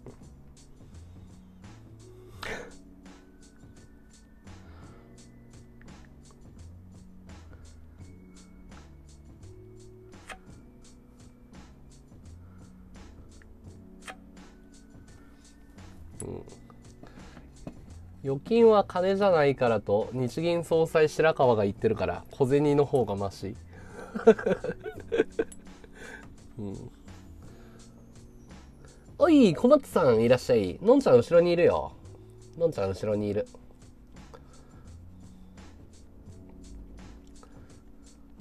そうですね。なんか僕のなんかこうなんで配信者っていうのを仕事に選んだかっていうのが20代の時に決めたい生き方があって、好きな人と好きなことを好きな時に好きな場所で好きなだけやるって決めたんですよ。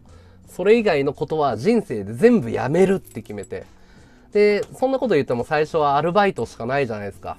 でもいつか抜け出してやるって言って、で、19歳の時に起業して、で、えっ、と、23歳の時には会社やってたんですけど、ちょっと別の授業がやりたくなって、個人事業主に戻って、で、そっからダメになってっていう。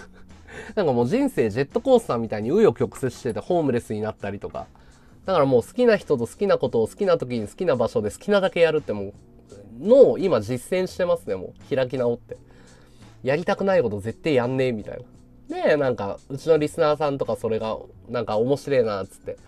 で、最初貧乏だったんですけど、だんだんこう、ふわっちに来てからアイテムいただけるようになって、それで1年間こう、暮らせるように、それで飯が食えるようになって、バイトとかもやめて、で、今はその、シルバーブランド作りたいねって3年ぐらい前から放送でぼやいてたら、その30年俺実は銀の世界に、銀とかプラチナとか金がメインなんですけど、そういうアクセサリーの世界にいて、和道のこと応援したいから、一緒にもし、もしよかったらブランド立ち上げない？って言ってもらえてて。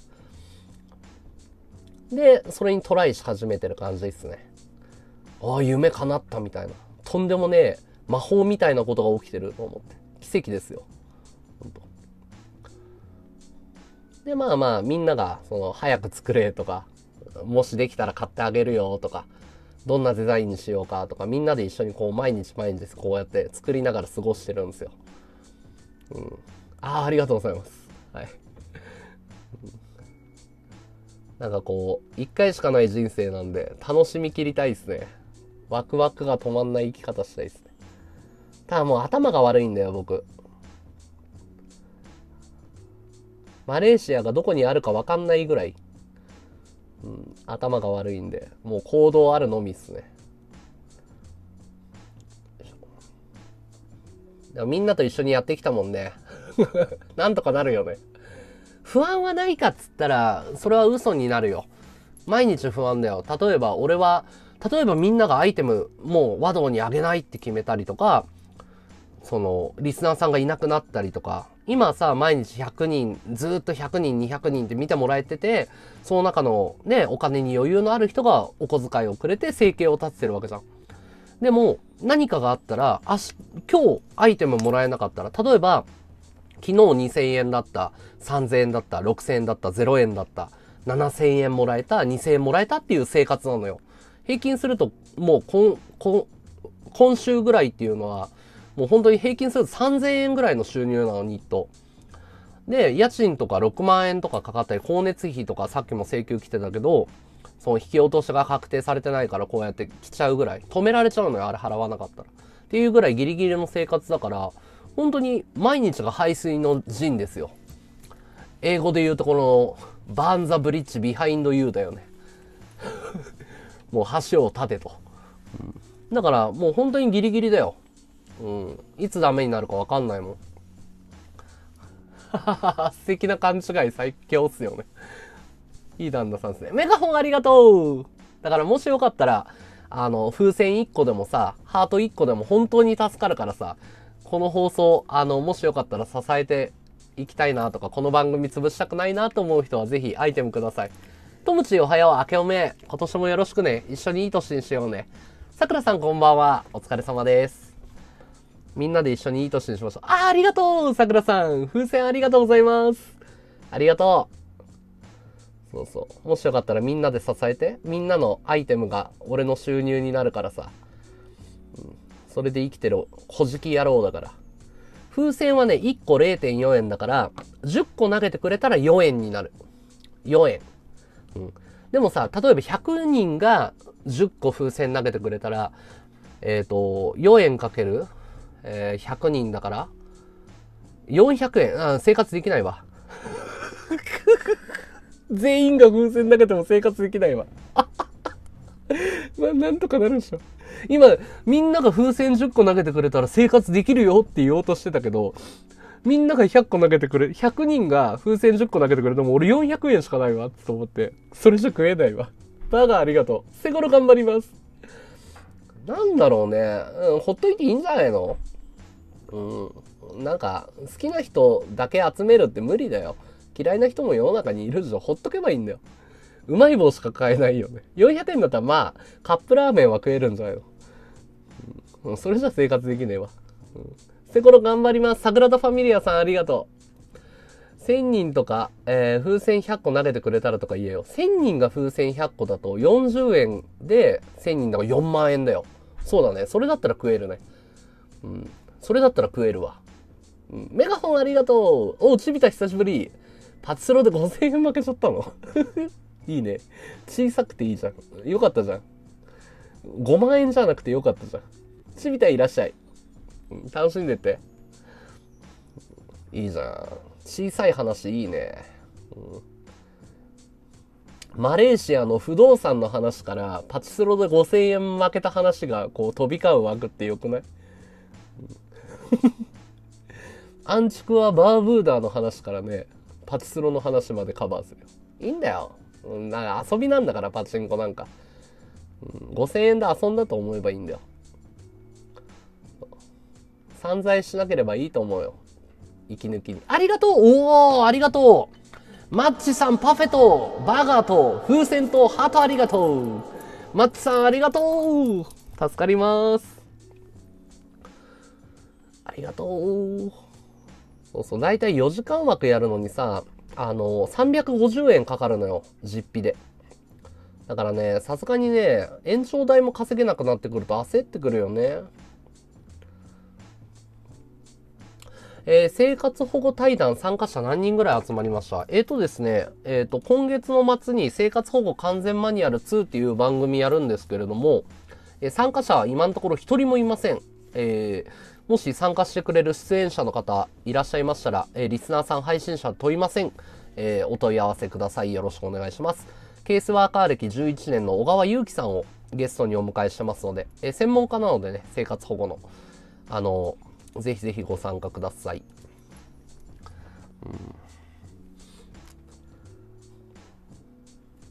ねえ、アイラね、稼いでるよね、アイラね。まあ別に人の悪口言って稼いでるわけじゃないよ。うん、人の悪口言って稼げるぐらい甘い世界じゃないよ、トムチ。頑張ろうぜ、稼げるようになるように。うん俺も全然稼げてねえけどさ、大丈夫だよ。楽しかったら人が集まってくるから。助けてくれるよ、頑張ってれば。うん。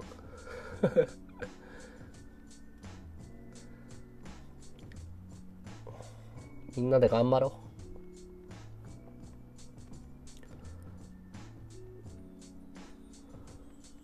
人を大事にする人のところには人が集まってくるから。で、人が集まってきたら経済が勝手に生まれるから。うんだから俺らはさ、トムチーさ、ピエロだからさ、ピエロをやっぱ演じきらないと。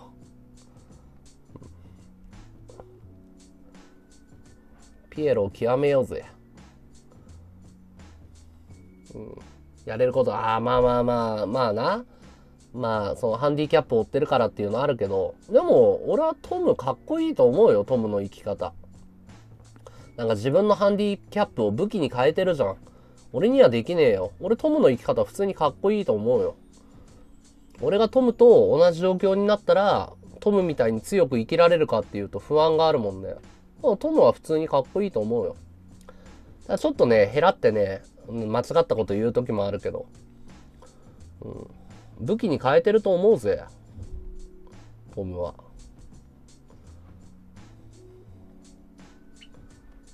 だ何もそのコンプレックスに感じることはないよハンディキャップを。うん。あまあまあそういうひどいこと言われるけどほっとくしかないよそれは、うん、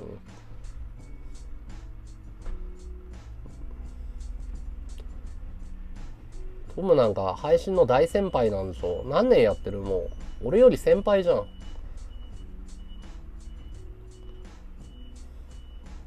もう長くやってんだからもうノウハウ分かってるでしょ。アンチがいなくなんないのも分かってるでしょ、うん、ふわっちで月収100万稼ぐ人ってすごいんですね。何人ぐらいいるんだろう。多分今もう100万稼いでるの10人20人ぐらいいると思うよ。あそんなに古いんだトムって。えー、すげえな。枠開くたんびにねまだ生きてたかって言われるもんね。あれひどいよねちょっとね。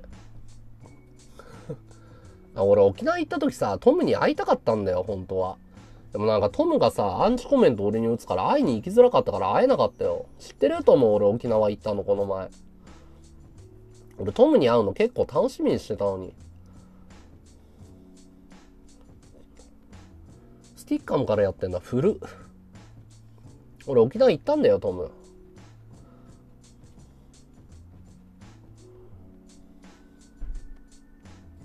また行ったら会おうよトム。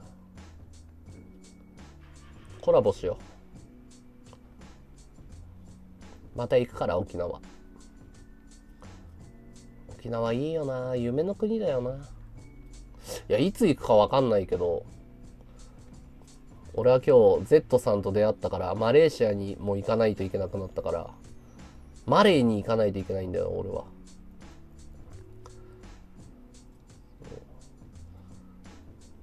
マレーの帰りに沖縄寄るわ。マレーの帰りに。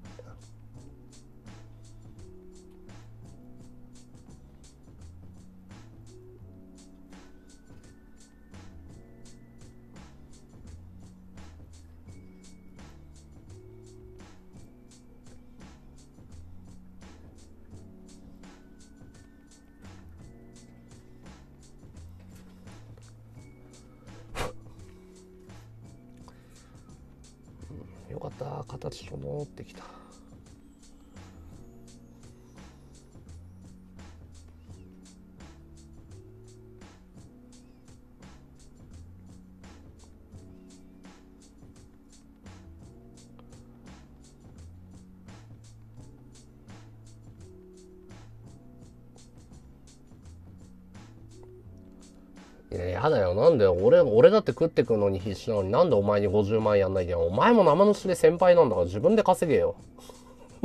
なんで俺の金当てにしてんだよ。おかしいだろ。自分で稼げよ。生活保護抜けたんでしょ？だって。何の音？なんで俺が自分で食ってくのに必死なのになんでお前に金渡しに行かないといけないんだよ。おかしいだろ。笑えねえよ。うん海外配信ってね、人少なかったりするのたまにね、海外配信で面白い人とかいるのにね。なんかフィンランドかなんかから配信してる女の子の配信とかあったよ、なんか。前。数ヶ月前。ああいう配信増えてもいいと思うんだけどね。株上がんねえよ。株やってねえわ、そもそも。俺の株が上がるって話？俺の株なんかもうずっと配信した時から大暴落だよ。うん。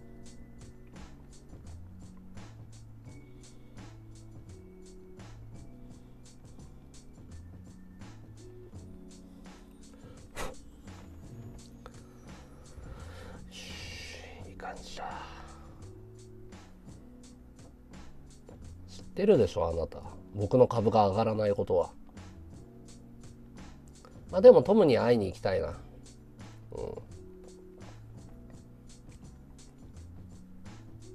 それは本心だよ。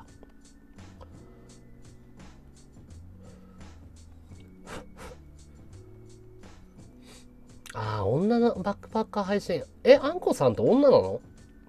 男だと思ってた。女の人はね特定はね見バレとかね危ないからね男だったらいいかもしれないけどうん女の人はね変なリスナーさんとかまあ少なからずいるから気をつけないとね悲しいけど自己防衛していかないといけないからねなんで俺の家壊すんだよ。うん。あ、子供もいるんだ。絶対できないね。絶対できないね。うん。すげえな。女バックパッカーってかっこいいね。旅人だったっつってたもんね。かっこいい生き方してるよな。いや、いろんな人が集まるからいいよね。リスナーさんで。勉強になる。バックパッカー時代まあね、危険だしね。うん。まあでもその旅はやっぱりその不便さを味わうのが旅の本質だから,、うん、危険とかもやっぱ旅の要素に入ってるんだろうな。危険を味わうっていう。パキスタンで警察に拉致された。警察が拉致ってどういうことだよな日本じゃ考えられねえよ。な危な。だいぶ綺麗になってきました輪郭。ほら。綺麗でしょ。いいね。可愛くない？どう？綺麗じゃない？初めて作ってる割には。綺麗でしょ？これがシルバーの輪郭胴体部分になる。今ねシルバーアクセサリーのブランド作ろうと思ってて。結構綺麗にできたでしょ？ちょっとね、ここの黒くなってる部分は、あの、修正してる穴だから、シルバーの時にはこれ潰れるから大丈夫なんだけど、綺麗だよね。バックパッカーだったんだって、サム。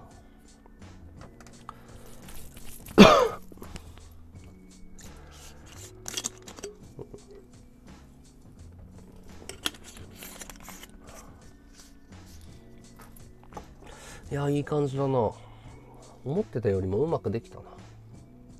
のんちゃんこんな感じでしょ？のんちゃんがデザインしたの。まだきれあれ？のんちゃん寝てる？生きてる。でしょ？うん。綺麗だよね。うんうん。な感じ。パーツ1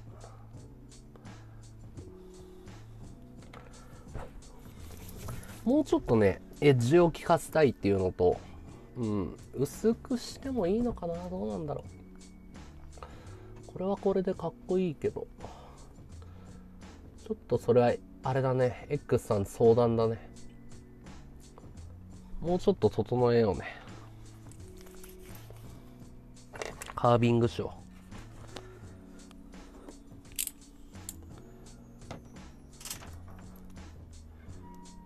う何の音？これキューキューって音。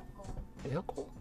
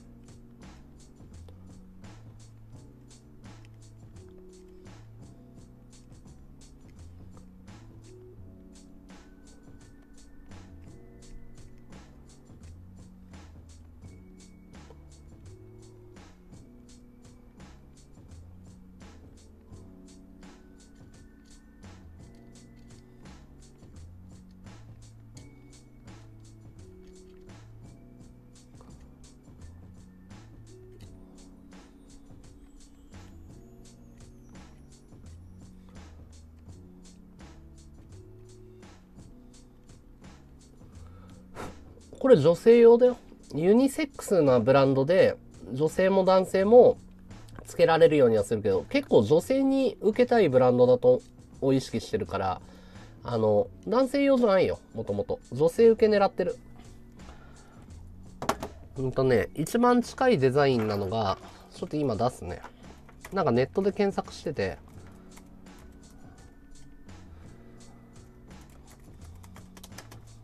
鍵をモチーフにしてるんだけど制作イメージに一番近かった画像を見つけたからキャプるよ今。多分ねこんな感じになると思う。どちらかっていうと女性用じゃなくてだあのなんつうの女性男性あんま関係ないかもしれないけど多分ねファン層は女性作っていきたいなと思ってるからこんな感じになると思うね、うん、こういう風なデザインいろいろあるんだけどそうキーのあのペンダントトップを作ろうと思ってて。まあサイズはこれくらいになると思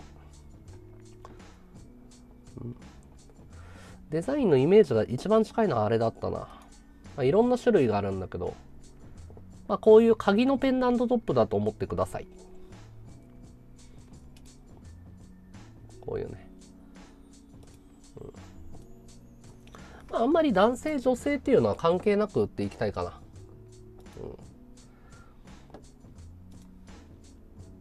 なんかこうデザイン自体が好きだったら職人っていうかね、ブランドを作りたいと思ってて、あ、バカありがとうね、ゆうこさん。まあ、俺は職人極めようとは思ってないんだけど、その自分の冠つける、そのブランドにしようと思ってるから、その、つく、自分の作品を作って、その、工程を知らないと、やっぱり職人さんのさ、こう仕事とか理解できないとダメだし、やっぱり自分が作るものを売りたいからね。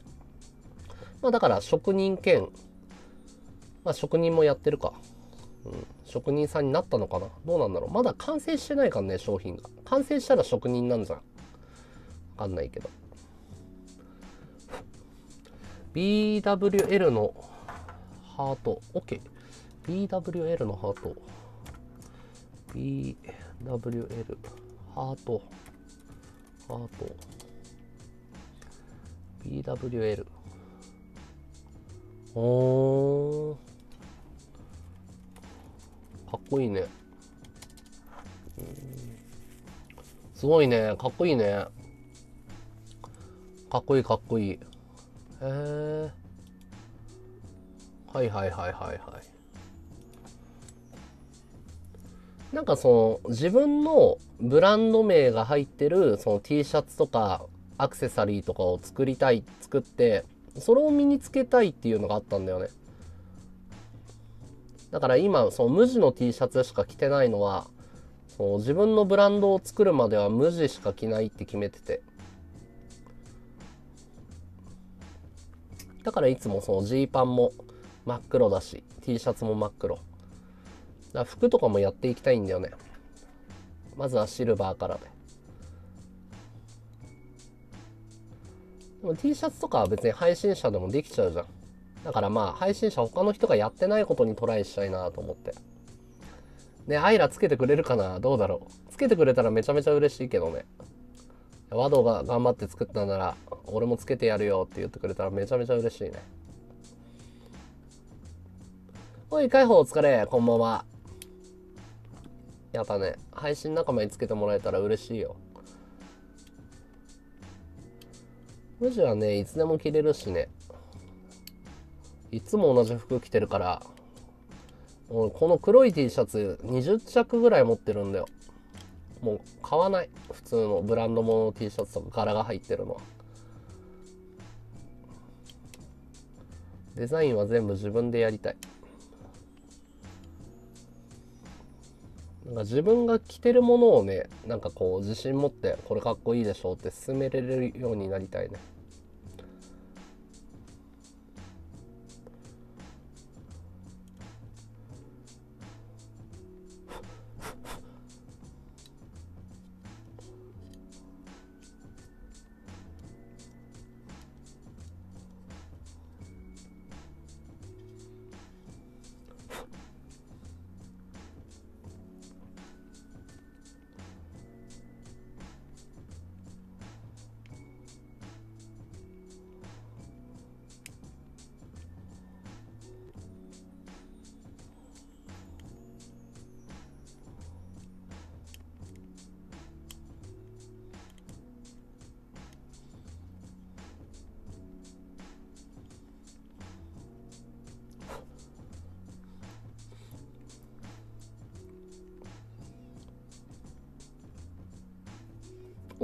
おう寝てたおはよう。おはよ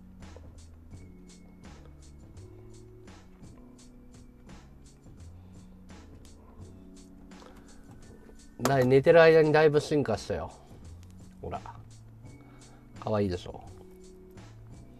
こんな感じ。かわいくない？のんちゃん。どうよ。綺麗でしょ。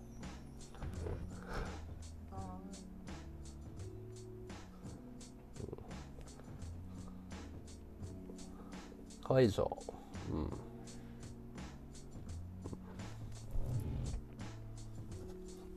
うん。いい感じになってるよ。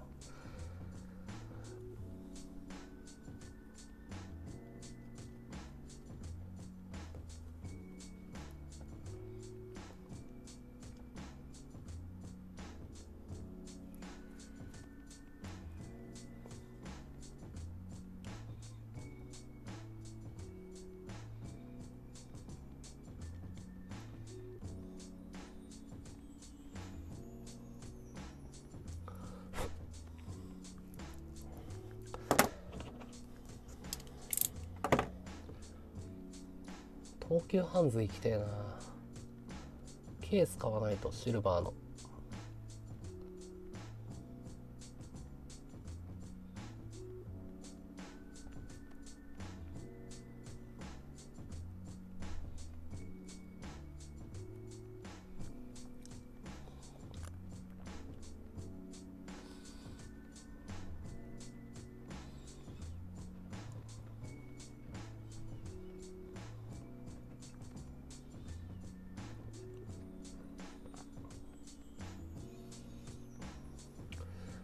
ちゃんご飯よく作ってくれるね。手作りで作ってくれる時はもう89割方のんちゃんが作ってくれてのんちゃんご飯すごく美味しいよ。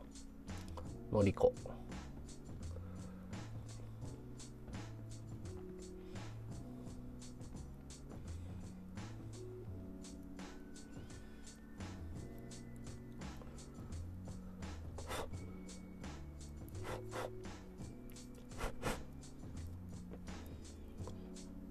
ちゃんの何でも好きだね。のんちゃんが作ってくれるっていうのがすごい嬉しいのよ。何でも美味しいよ本当に。ビーフシチューすごい美味しかったしな。俺も料理やるから結構なんだろう料理自信あるんだけどのんちゃんは普通にご飯上手に作るね。俺のご飯美味しいでしょのんちゃん。美味しい。ねそう。だから結構その自炊とか下手な人に作ってもらいたくない派なんだけどのんちゃんのご飯美味しいよ普通に。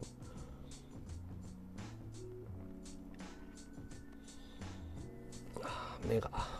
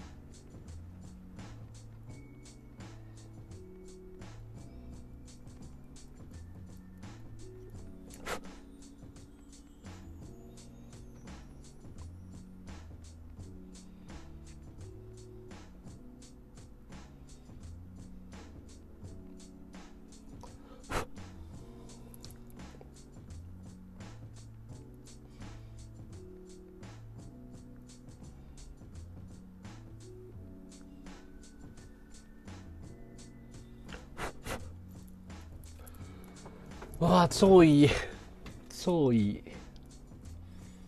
いいね。あー道具買ってよかったな。1300円のリューターの先端でさたっけーとか思ったけどさ買ってよかったわ。全然作業効率が違う。超いい。このエッジ出ないもんね。この急なカーブにならない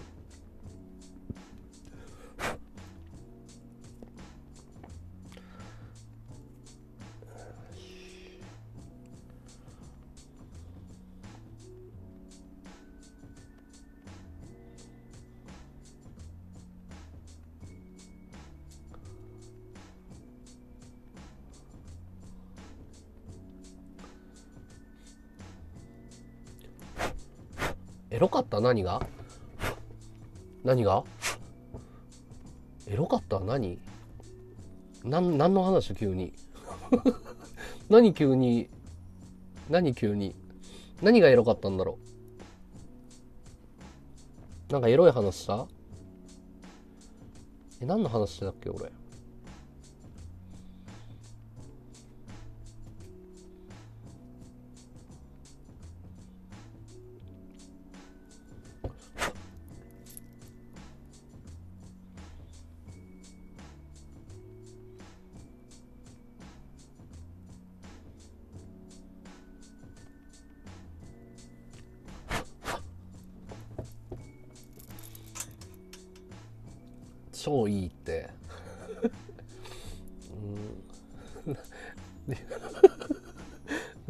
いていけないわ、うん、何の話してんのか全然わかんない、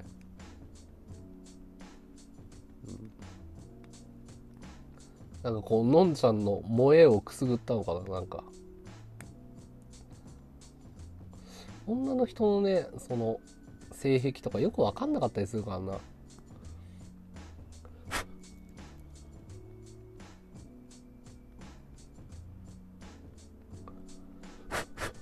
たまにおかしくなる。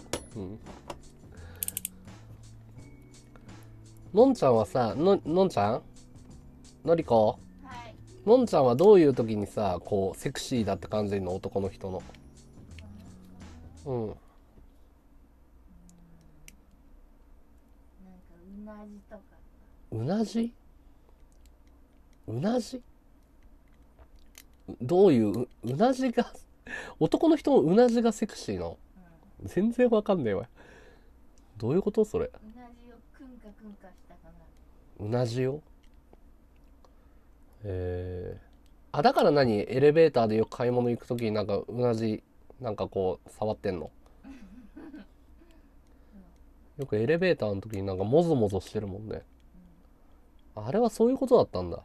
あれは背中に燃えるとしてあ背中に燃えるの？えー、全然わかんないわ。ありがとう。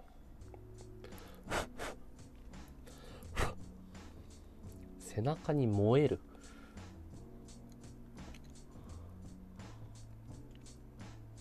背中の匂い。を嗅いでる背中の匂い。うん。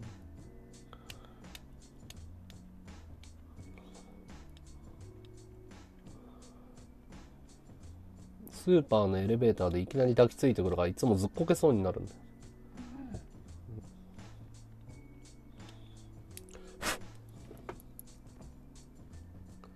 わかるんだ。わかんねえわ全然。女の人はわかんない。女の人のなんかこうグッとくるポイント。わかるんだ。背中フェチ。背中匂いフェチ。のんちゃん共感を得られてるよ。のんちゃんから。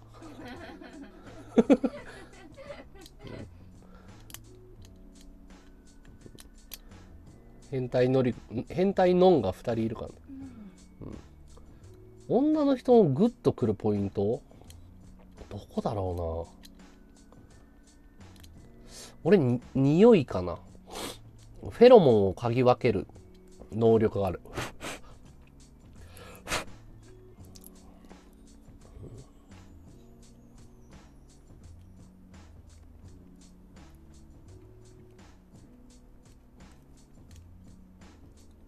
仕草じゃないの女性の。笑顔が素敵な人が好きだね。笑った時可愛い人が好き。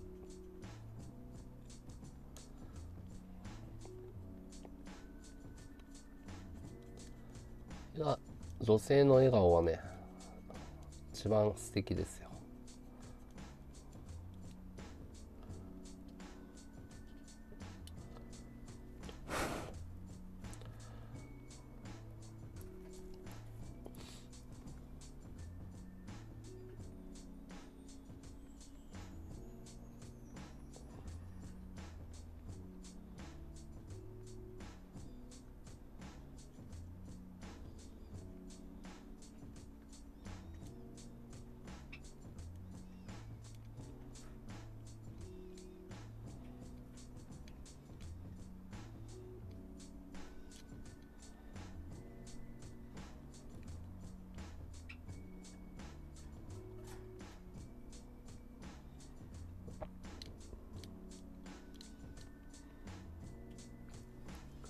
ひげ声。どんな声が好きなの？あでも俺俺も声フェチかもしんない。のんちゃんの声好きだもん。俺声萌えはわかるな。声はわかる。のんちゃんのねなんかこう声好き。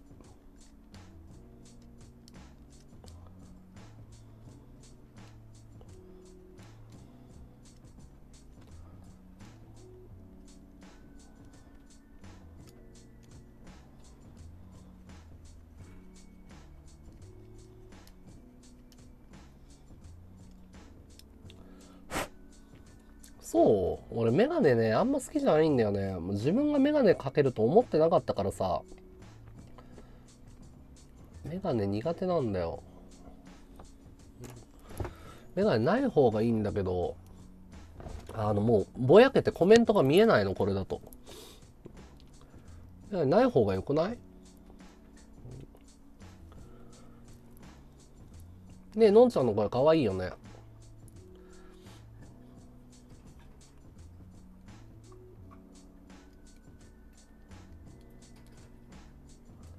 萌え声。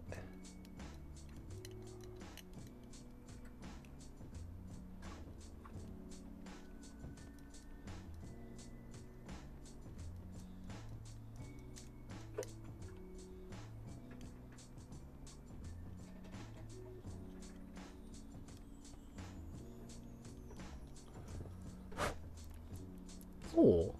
メガネ似合ってる。これリスナーさんが選んでくれたんだよね。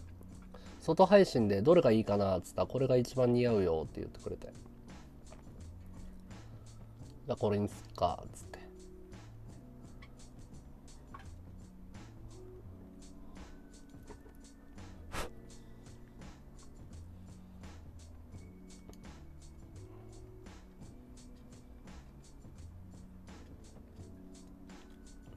似合うって言ってもらえると嬉しいよね。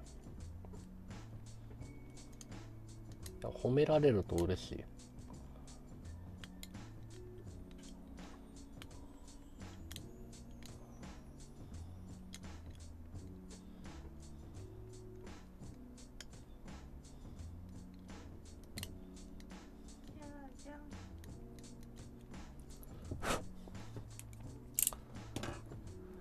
賢く見える。なんだろうね。賢ではないけど別に。愚民ですよ愚民。愚人。賢人ではない。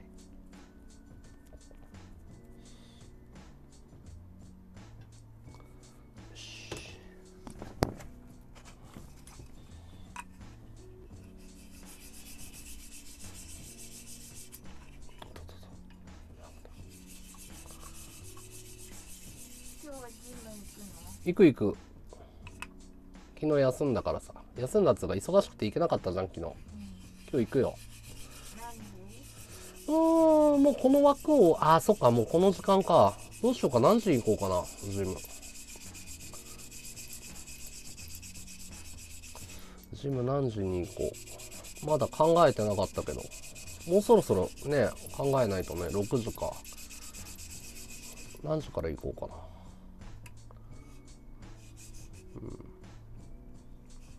統一感っていうかほら黒黒と赤と白しか身につけないから俺が。カラーがしっかりしてるからだこの和道カラーがもう決まってるから。服服に時間かけないもので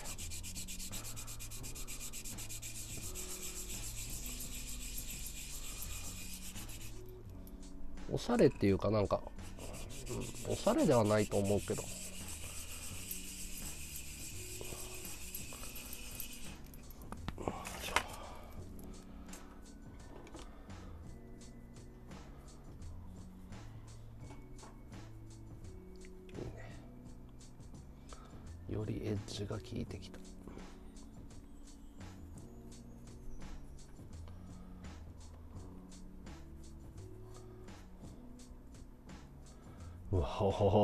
我ながらいいな。これはいいな。我ながらいいね。うん。我ながらいいじゃないか。うん。個性派なのかな。あーでもまあ昔からお前どこで服買ってんのって言われてユニクロって言ったら爆笑されたけどね。ユニクロでよくそんな服見つけたなみたいな。そんな目立つの売ってんのみたいな。お前が着るとユニクロじゃねえなとかよく言われたもん。などういう組み合わせみたいなよく笑われたよ同級生になんかファッションセンスがおかしいとか配色がおかしいってよく言われた どこで服買ってんのみたいな。いや、ユニクロだけど、みたいな。色彩感覚がおかしいんだろうね。多分。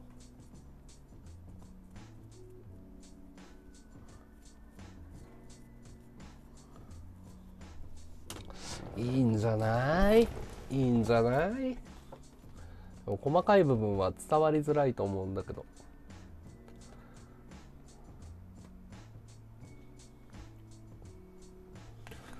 このトップの部分ね。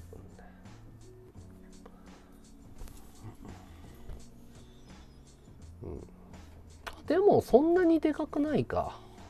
これくらいだったらかわいいな、いいと思う、うん、な褒めても何も出ないよちびたさん。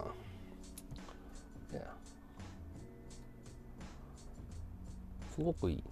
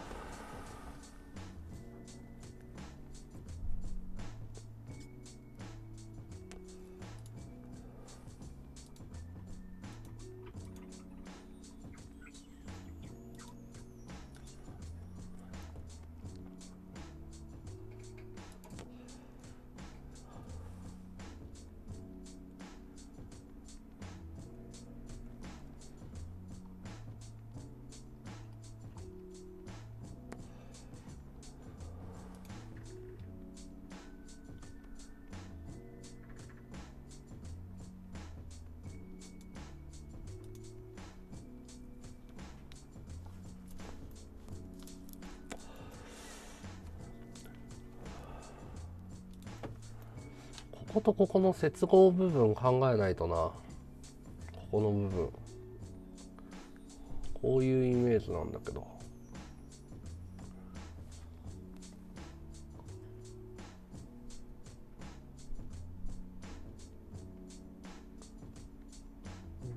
だんだんできてきた。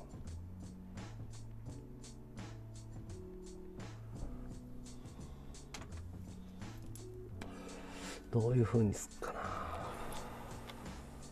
と問題こいつだよ。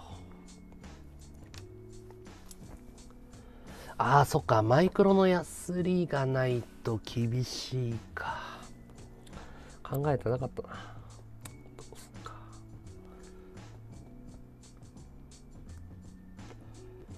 うん。まあやってみっか。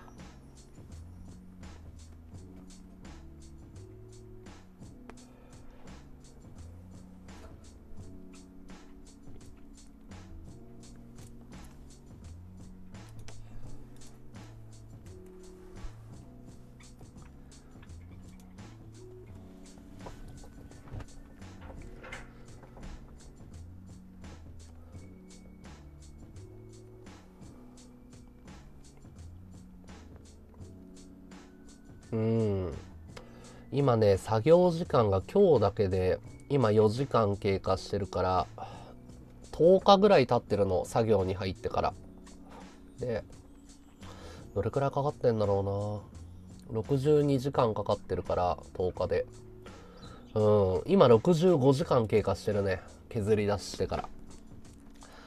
で一応なんだけどこのワックスの作業が3月には終わらせたいなとは思ってるかな。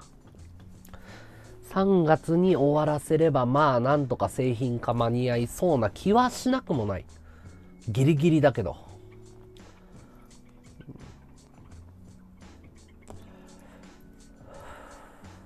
だからもっとシンプルなデザインにしちゃえばパパッと作れるんだけどもうテンプレートの形みたいなのがあるじゃん。鍵だったら。でバーって削ればすぐ終わるんだけどここまでやる人いないと思うよ。なかなか、だから普通のそのブランド品とかさ仕事だとさ納期までの時間があるわけじゃん。何1ヶ月でこれ作ってくださいみたいなさ。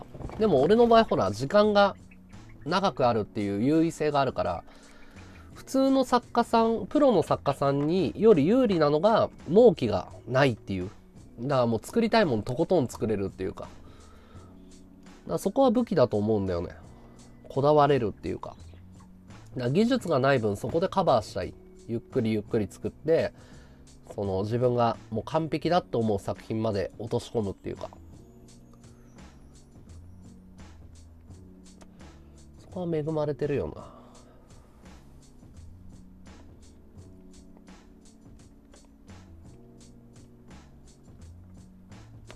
値段設定はペンダントトップを3号ぐらいで考えてるんだけど昨日ミーティングしたのがそのチェーンをつけるかどうかっていう話をしててで X さんの考えを聞伺ってみたらその和道チェーンもちゃんと作って普通そのチェーンってさペンダントトップって取り外しができて革紐でもいいしその市販で売ってるチェーンに引っ掛けられるようにするけどそれってこだわりがないんじゃないかみたいな。もうチェーンまで作り込んで完璧な作品に落とし込んでそういうことはできるんだ。チェーン自体を作ることできるんだって。だからもう取り外しができないようにしてもう完璧にデザインした方が和道らしいんじゃないとは言われた。もう一体化させちゃうの。でそうじゃないとやっぱりその俺はそっちの方がいいと思うって X さんに言われて。和道のこだわりの世界観とかチェーンにも表現した方がいいからその買い替えができない。ただそうすると値段が上がっちゃうからそうすると10万円ぐらいになっちゃうの。チェーン込みで。チェーン作り込むってすごい大変だから。だからそこをどうするかなってペンダントトップ3号にするのかその10万以下の値段でチェーン付きで売るのかっていうのはちょっと今迷ってて。その戦略として、販売の戦略として。だ10万円で買いたいっていうと、リスナーさんのハードル上がりすぎるだから、うん。だからどうしようかなとか思ってて。どっちにするかだよね。10万をこう、切る価格帯でいくのか。うん。どっちにしようか。うん。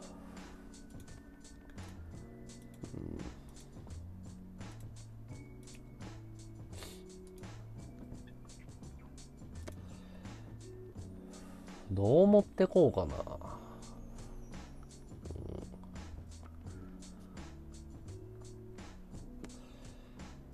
産後、手間考えたら採算とか取れないっすよ。うん。だって制作に半年かけてるわけだから。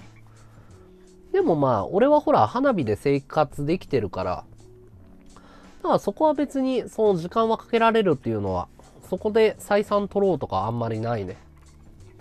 値段で迷ってはない。要は、その、チェーンまで落とし込むかっていうこと。ペンダントトップだけで販売しようと思ってたんだけど、その、なんていうのかな。ペンダントトップとチェーン一体型にするのかどうかっていうところで迷ってる、俺は。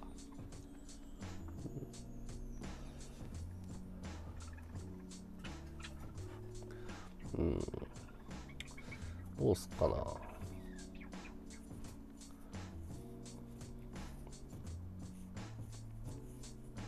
うんまあそこは今保留中。とりあえずペンダントトップ作ってから考えようとは思ってるけど。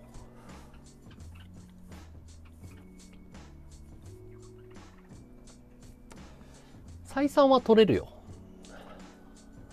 手間のコストは入れない。うん。そう、10万となるとはパッと買えないけど、その、パッと買えるものを作らなくてもいいんじゃない？みたいな。だってさ、ぶっちゃけた話をするんだったらさ、その、俺よりもさ、いいものっていうのは作れる人っていうのは世の中にいっぱいいるわけじゃん。だけど、その和道が作ったっていうことに価値があるかどうかっていう話になってくるわけだから、うん、そうそう、こだわり抜いた方がいいんじゃないって、そう、ポーラ化粧品さんの言う通りで、X さんももうチェーンまでこだわって、その完璧な作品作り上げた方がいいんじゃないっていうふうには言う、このアドバイスもらったんだけど、そうそうそうそう。で、そ、その場合だと、今度手が届かないから別のラインナップを考えたらいいんじゃないっていう。その、その和道チェーン、今回のチェーンまで作り込んで、ペンダントトップも作り込むんだけど、それとは別に安価な作品を作った方がいいんじゃないっていう案を出してもらった。これはもう、その、なんつうの、ハイ、ハイブランドつが高い商品にしちゃって、その、安いラインナップを別に設けたらいいんじゃないっていう。もっと作業工程を落として。すぐ量産型のものでそう1万円切る値段で売ればっていうアドバイスはもらったけど。ちょっと今そこは迷ってるかな。うん。どうしようかは。だからねその俺はね物ができないと値段は決められないと思ってて、多分そう完成した時に値段が見えると思ってるかな、うん、だから物ができてから考えるよ。物がパッてできてシルバーの状態ができてあこれならいくらで売れるっていうのは考えようと思ってる。今その原価計算あちょっと原価計算とか全くしてないからもう作りたいもの作るっていうことだけで動いてるからさ。だんだんそっちの勉強もし始めたんだけど。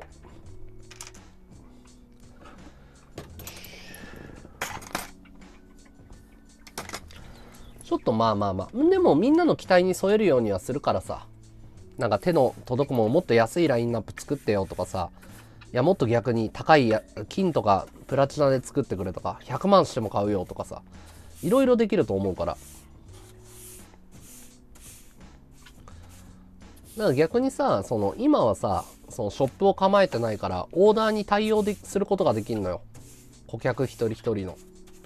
最初のうちしかできないことだから。例えば刻印を無料でやったりとかナンバリングの展開どうしようかとかさいろいろ考えてるからまだまだ時間はあるからね。ゆっくり考えて落とし込んでいこうと思ってるけど。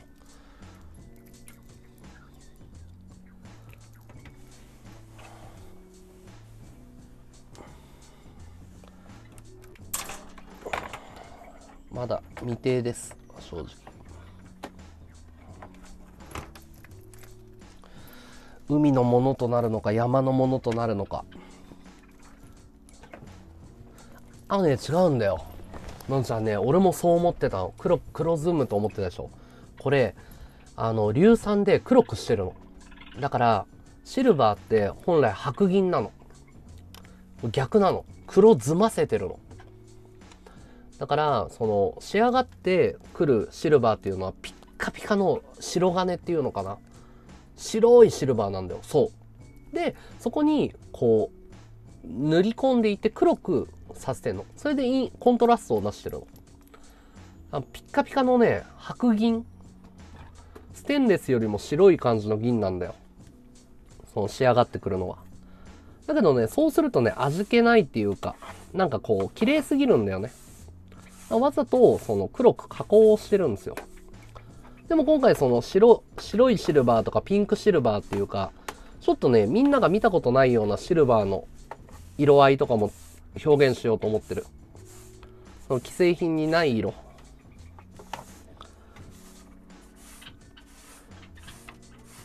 その銀のシルバー925っていうのは銅が混ざってるんだけど、そういうその混ぜる物質の配合の比率でね、シルバーって色合いが変わったりとか、いろいろ、いろいろできるんですよ。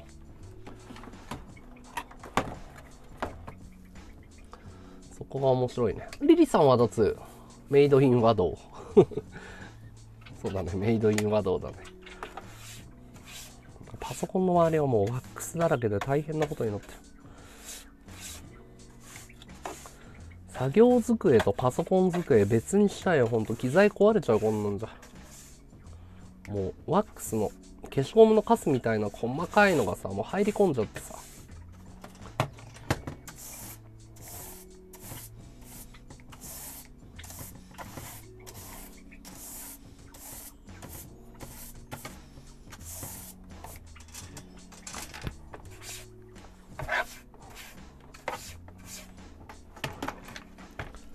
大変なことになってる。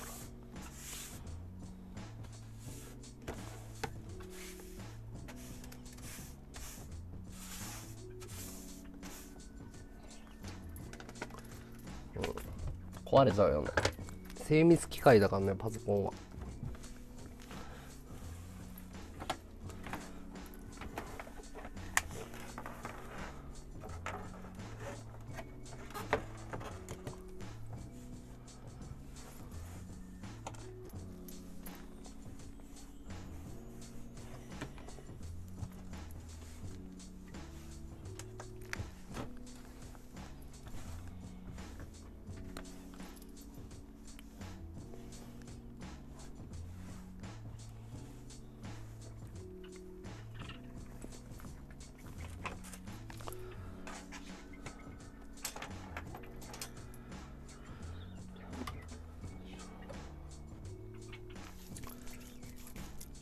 もちろん作るよ。うん。あの、まあ、リングを作ったりとか、ペンダントを作ったりとか、もちろん展開はさせていく予定だよ。もちろん。だけど、その、やっぱりその、売り物っていうところを意識していかないといけなくて、どこまでこう、どこまで、だからその、どの値段で売るのかと、どれだけのクオリティのものを作るのかっていう、もう本当にね、そういうせめぎ合いが自分の中にあるね。こう。あと、どういうお客さんの層につけてもらいたいかっていう。お客さんの層とかもあるから。本当にね、難しいよ。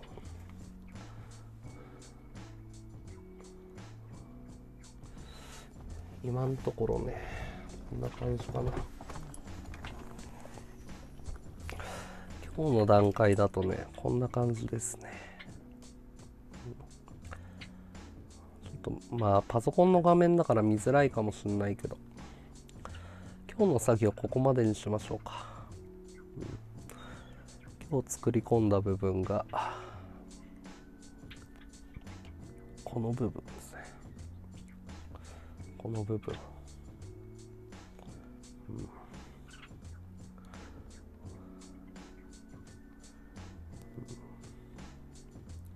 そうだね。ちゃんと、その、この作品に関しては、あの、刻印のナンバーを入れていくから、一個一個。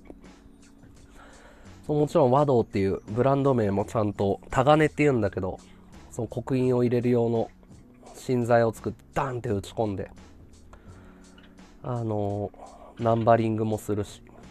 で、初期の作品だけは、リスナーさんの場合は、その刻印無料でやろうと思ってて、その、ネーム名前とか入れてくださいとかメッセージ入れてくださいっていう。何文字か無料で入れてあげようと思ってる。いや一番最初の作品に全振りする予定だね。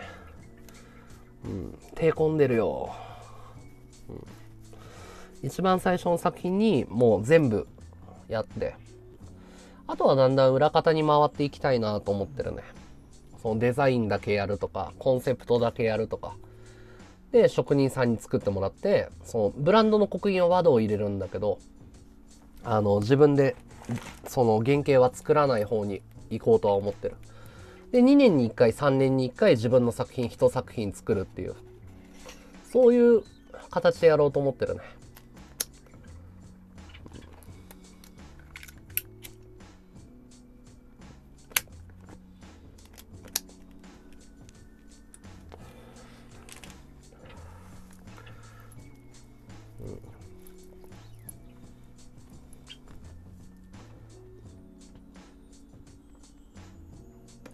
だから、その和道っていう刻印全部ブランド商品に入ってるん、しますよ。全部商品にします。だから全部自分の商品として出していくブランドっていうのは、和道の刻印全部リングとかに入ってるんだけど、俺が作ってる作品には、その、なんつうの、俺のが作ってる作品と作ってない作品っていうのを、その刻印でわかるようにしようと思ってる。う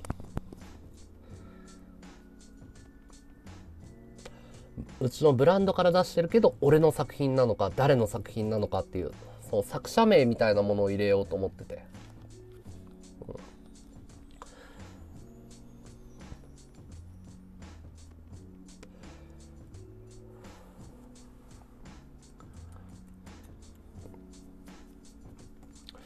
どうだろうね。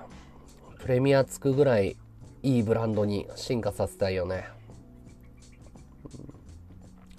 例えばゴローズ、ゴローズのね、ネックレスだったら、ゴローさんが作ってるネックレスはプレミアだからね。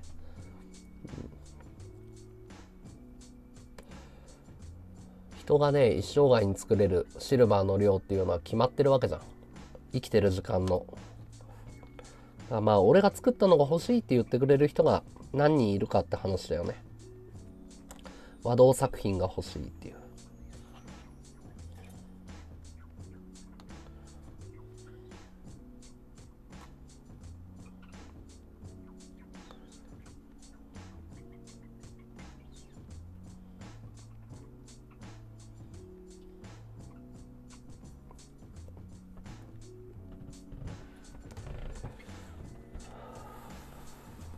まあ手が込んでるよな。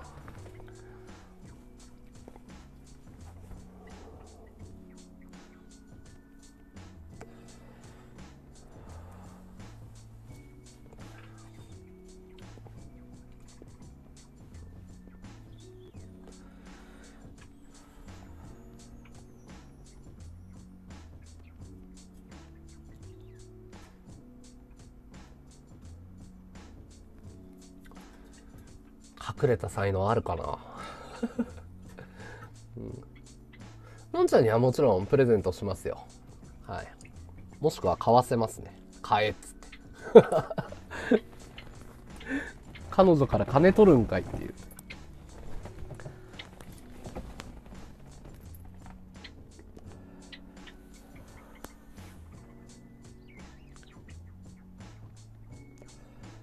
ひどい男だよね。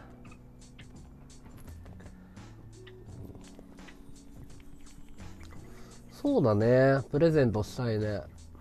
のんちゃんは配信者じゃないよ。うん。あ俺の彼女だからね。みんな配信者みたいに扱ってるから。なんかたまにね企画とかに行くとリスナーさんに囲われてのんちゃんだってなってるけど。のんちゃんただのリスナーなんだけどなみたいな。俺より有名だったりするからね。のんちゃんはのんちゃんのファンをねなぜか抱えてるからね。あれを見るたびに謎の現象だなと思うんだよね。なんでのんちゃんにファンがいるんだっていう。おかしいだろう。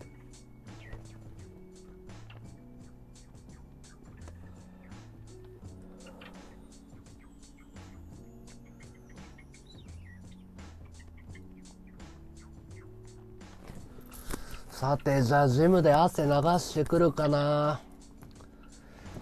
誰かアイテムください。誰かアイテムちょうだい。3000円。ちょ頑張るんで。ちょご支援よろしくお願いします。ハートでも風船でもいいので。私はもうこれからジムに行って体を鍛えてこようと思うんですけど。3000円じゃ生きていけないんで。誰かあのお気持ちいただけると嬉しいです。うん。そうだね。ああの鮫島さんはレジンっていうアクセサリー作ってるんだけどレジンすごいうまいよ鮫島さん。あれを1000円で発売してるからね。ありがとうビリーさんバーガーありがとう。ありがとうございます。助かります。ありがとう。うん。月会費ってん何の月会費？ああジム。ジムね月会費ね1万円。月会費1万円です。うん、うん、だからしかも2年縛りのジムだから2年以内に脱会するとその3万円ぐらいかかるのかな？大会費、うん、結構お金かかるよ。だ2年間通う代わりに1万円っていう安いんだけど解放ハートありがとう。ありがとうございます。そう。結構高いよ。だ2年通ったら24万だし。まあ例えば6月に抜けても6月に3万円かかるからね。まあその分値段が安いっていう。その分値段が安い。まあでもボクシングは続けようかなとは思ってるけどね。あの選手としては引退するけど体鍛えるのはいいことだなとは思ってるから。趣味でボクシングは続けようと思ってる。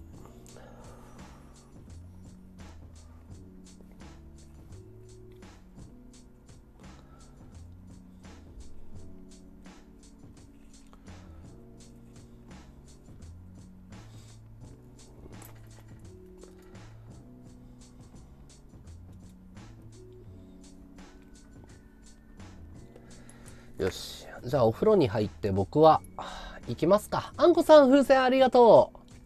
フィットネスだよフィットネス。こんにちはまマヨサーンさんいらっしゃい。あ全然全然謝らないでください。風船ありがたいですよ。アイテムありがたいです。フィットネスフィットネス、うん、まああの本格的にやってる人も何人かいるけど。あのコーチはあれだよ。元プロボクサーでランカーの人だよ。でもドレさんと相談して普通のキックボクシングジムとかボクシングジム行っても相手にされないし選手の邪魔しないでサンドバッグ横で叩いておきなって言われるだけだからフィットネスの方が体力作れるしあの丁寧に教えてくれるからいいんじゃないっていう風に言ってもらってあ僕もそう思いますつって。でドレさんと相談してフィットネス行くことになった。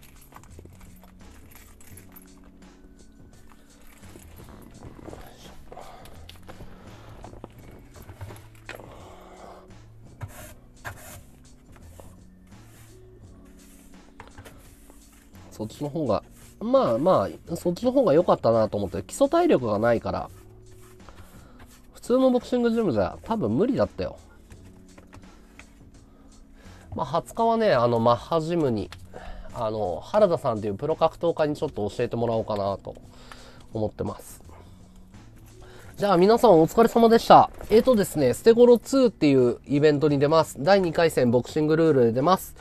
で、ステゴロ2の限定ステッカー発売してる1枚500円です。こちらの通常のステッカー、布製ステッカーは1枚、えー1000円で売ってます。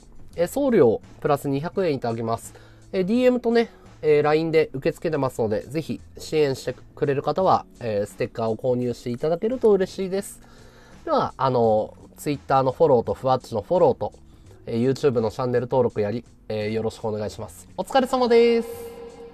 ありがとうございました。お前コメント欄荒らすなよ。バカとかハゲとか書くなよ。なんでお前動画の内容も見ねえでお前バッドボタン押してんだよもう。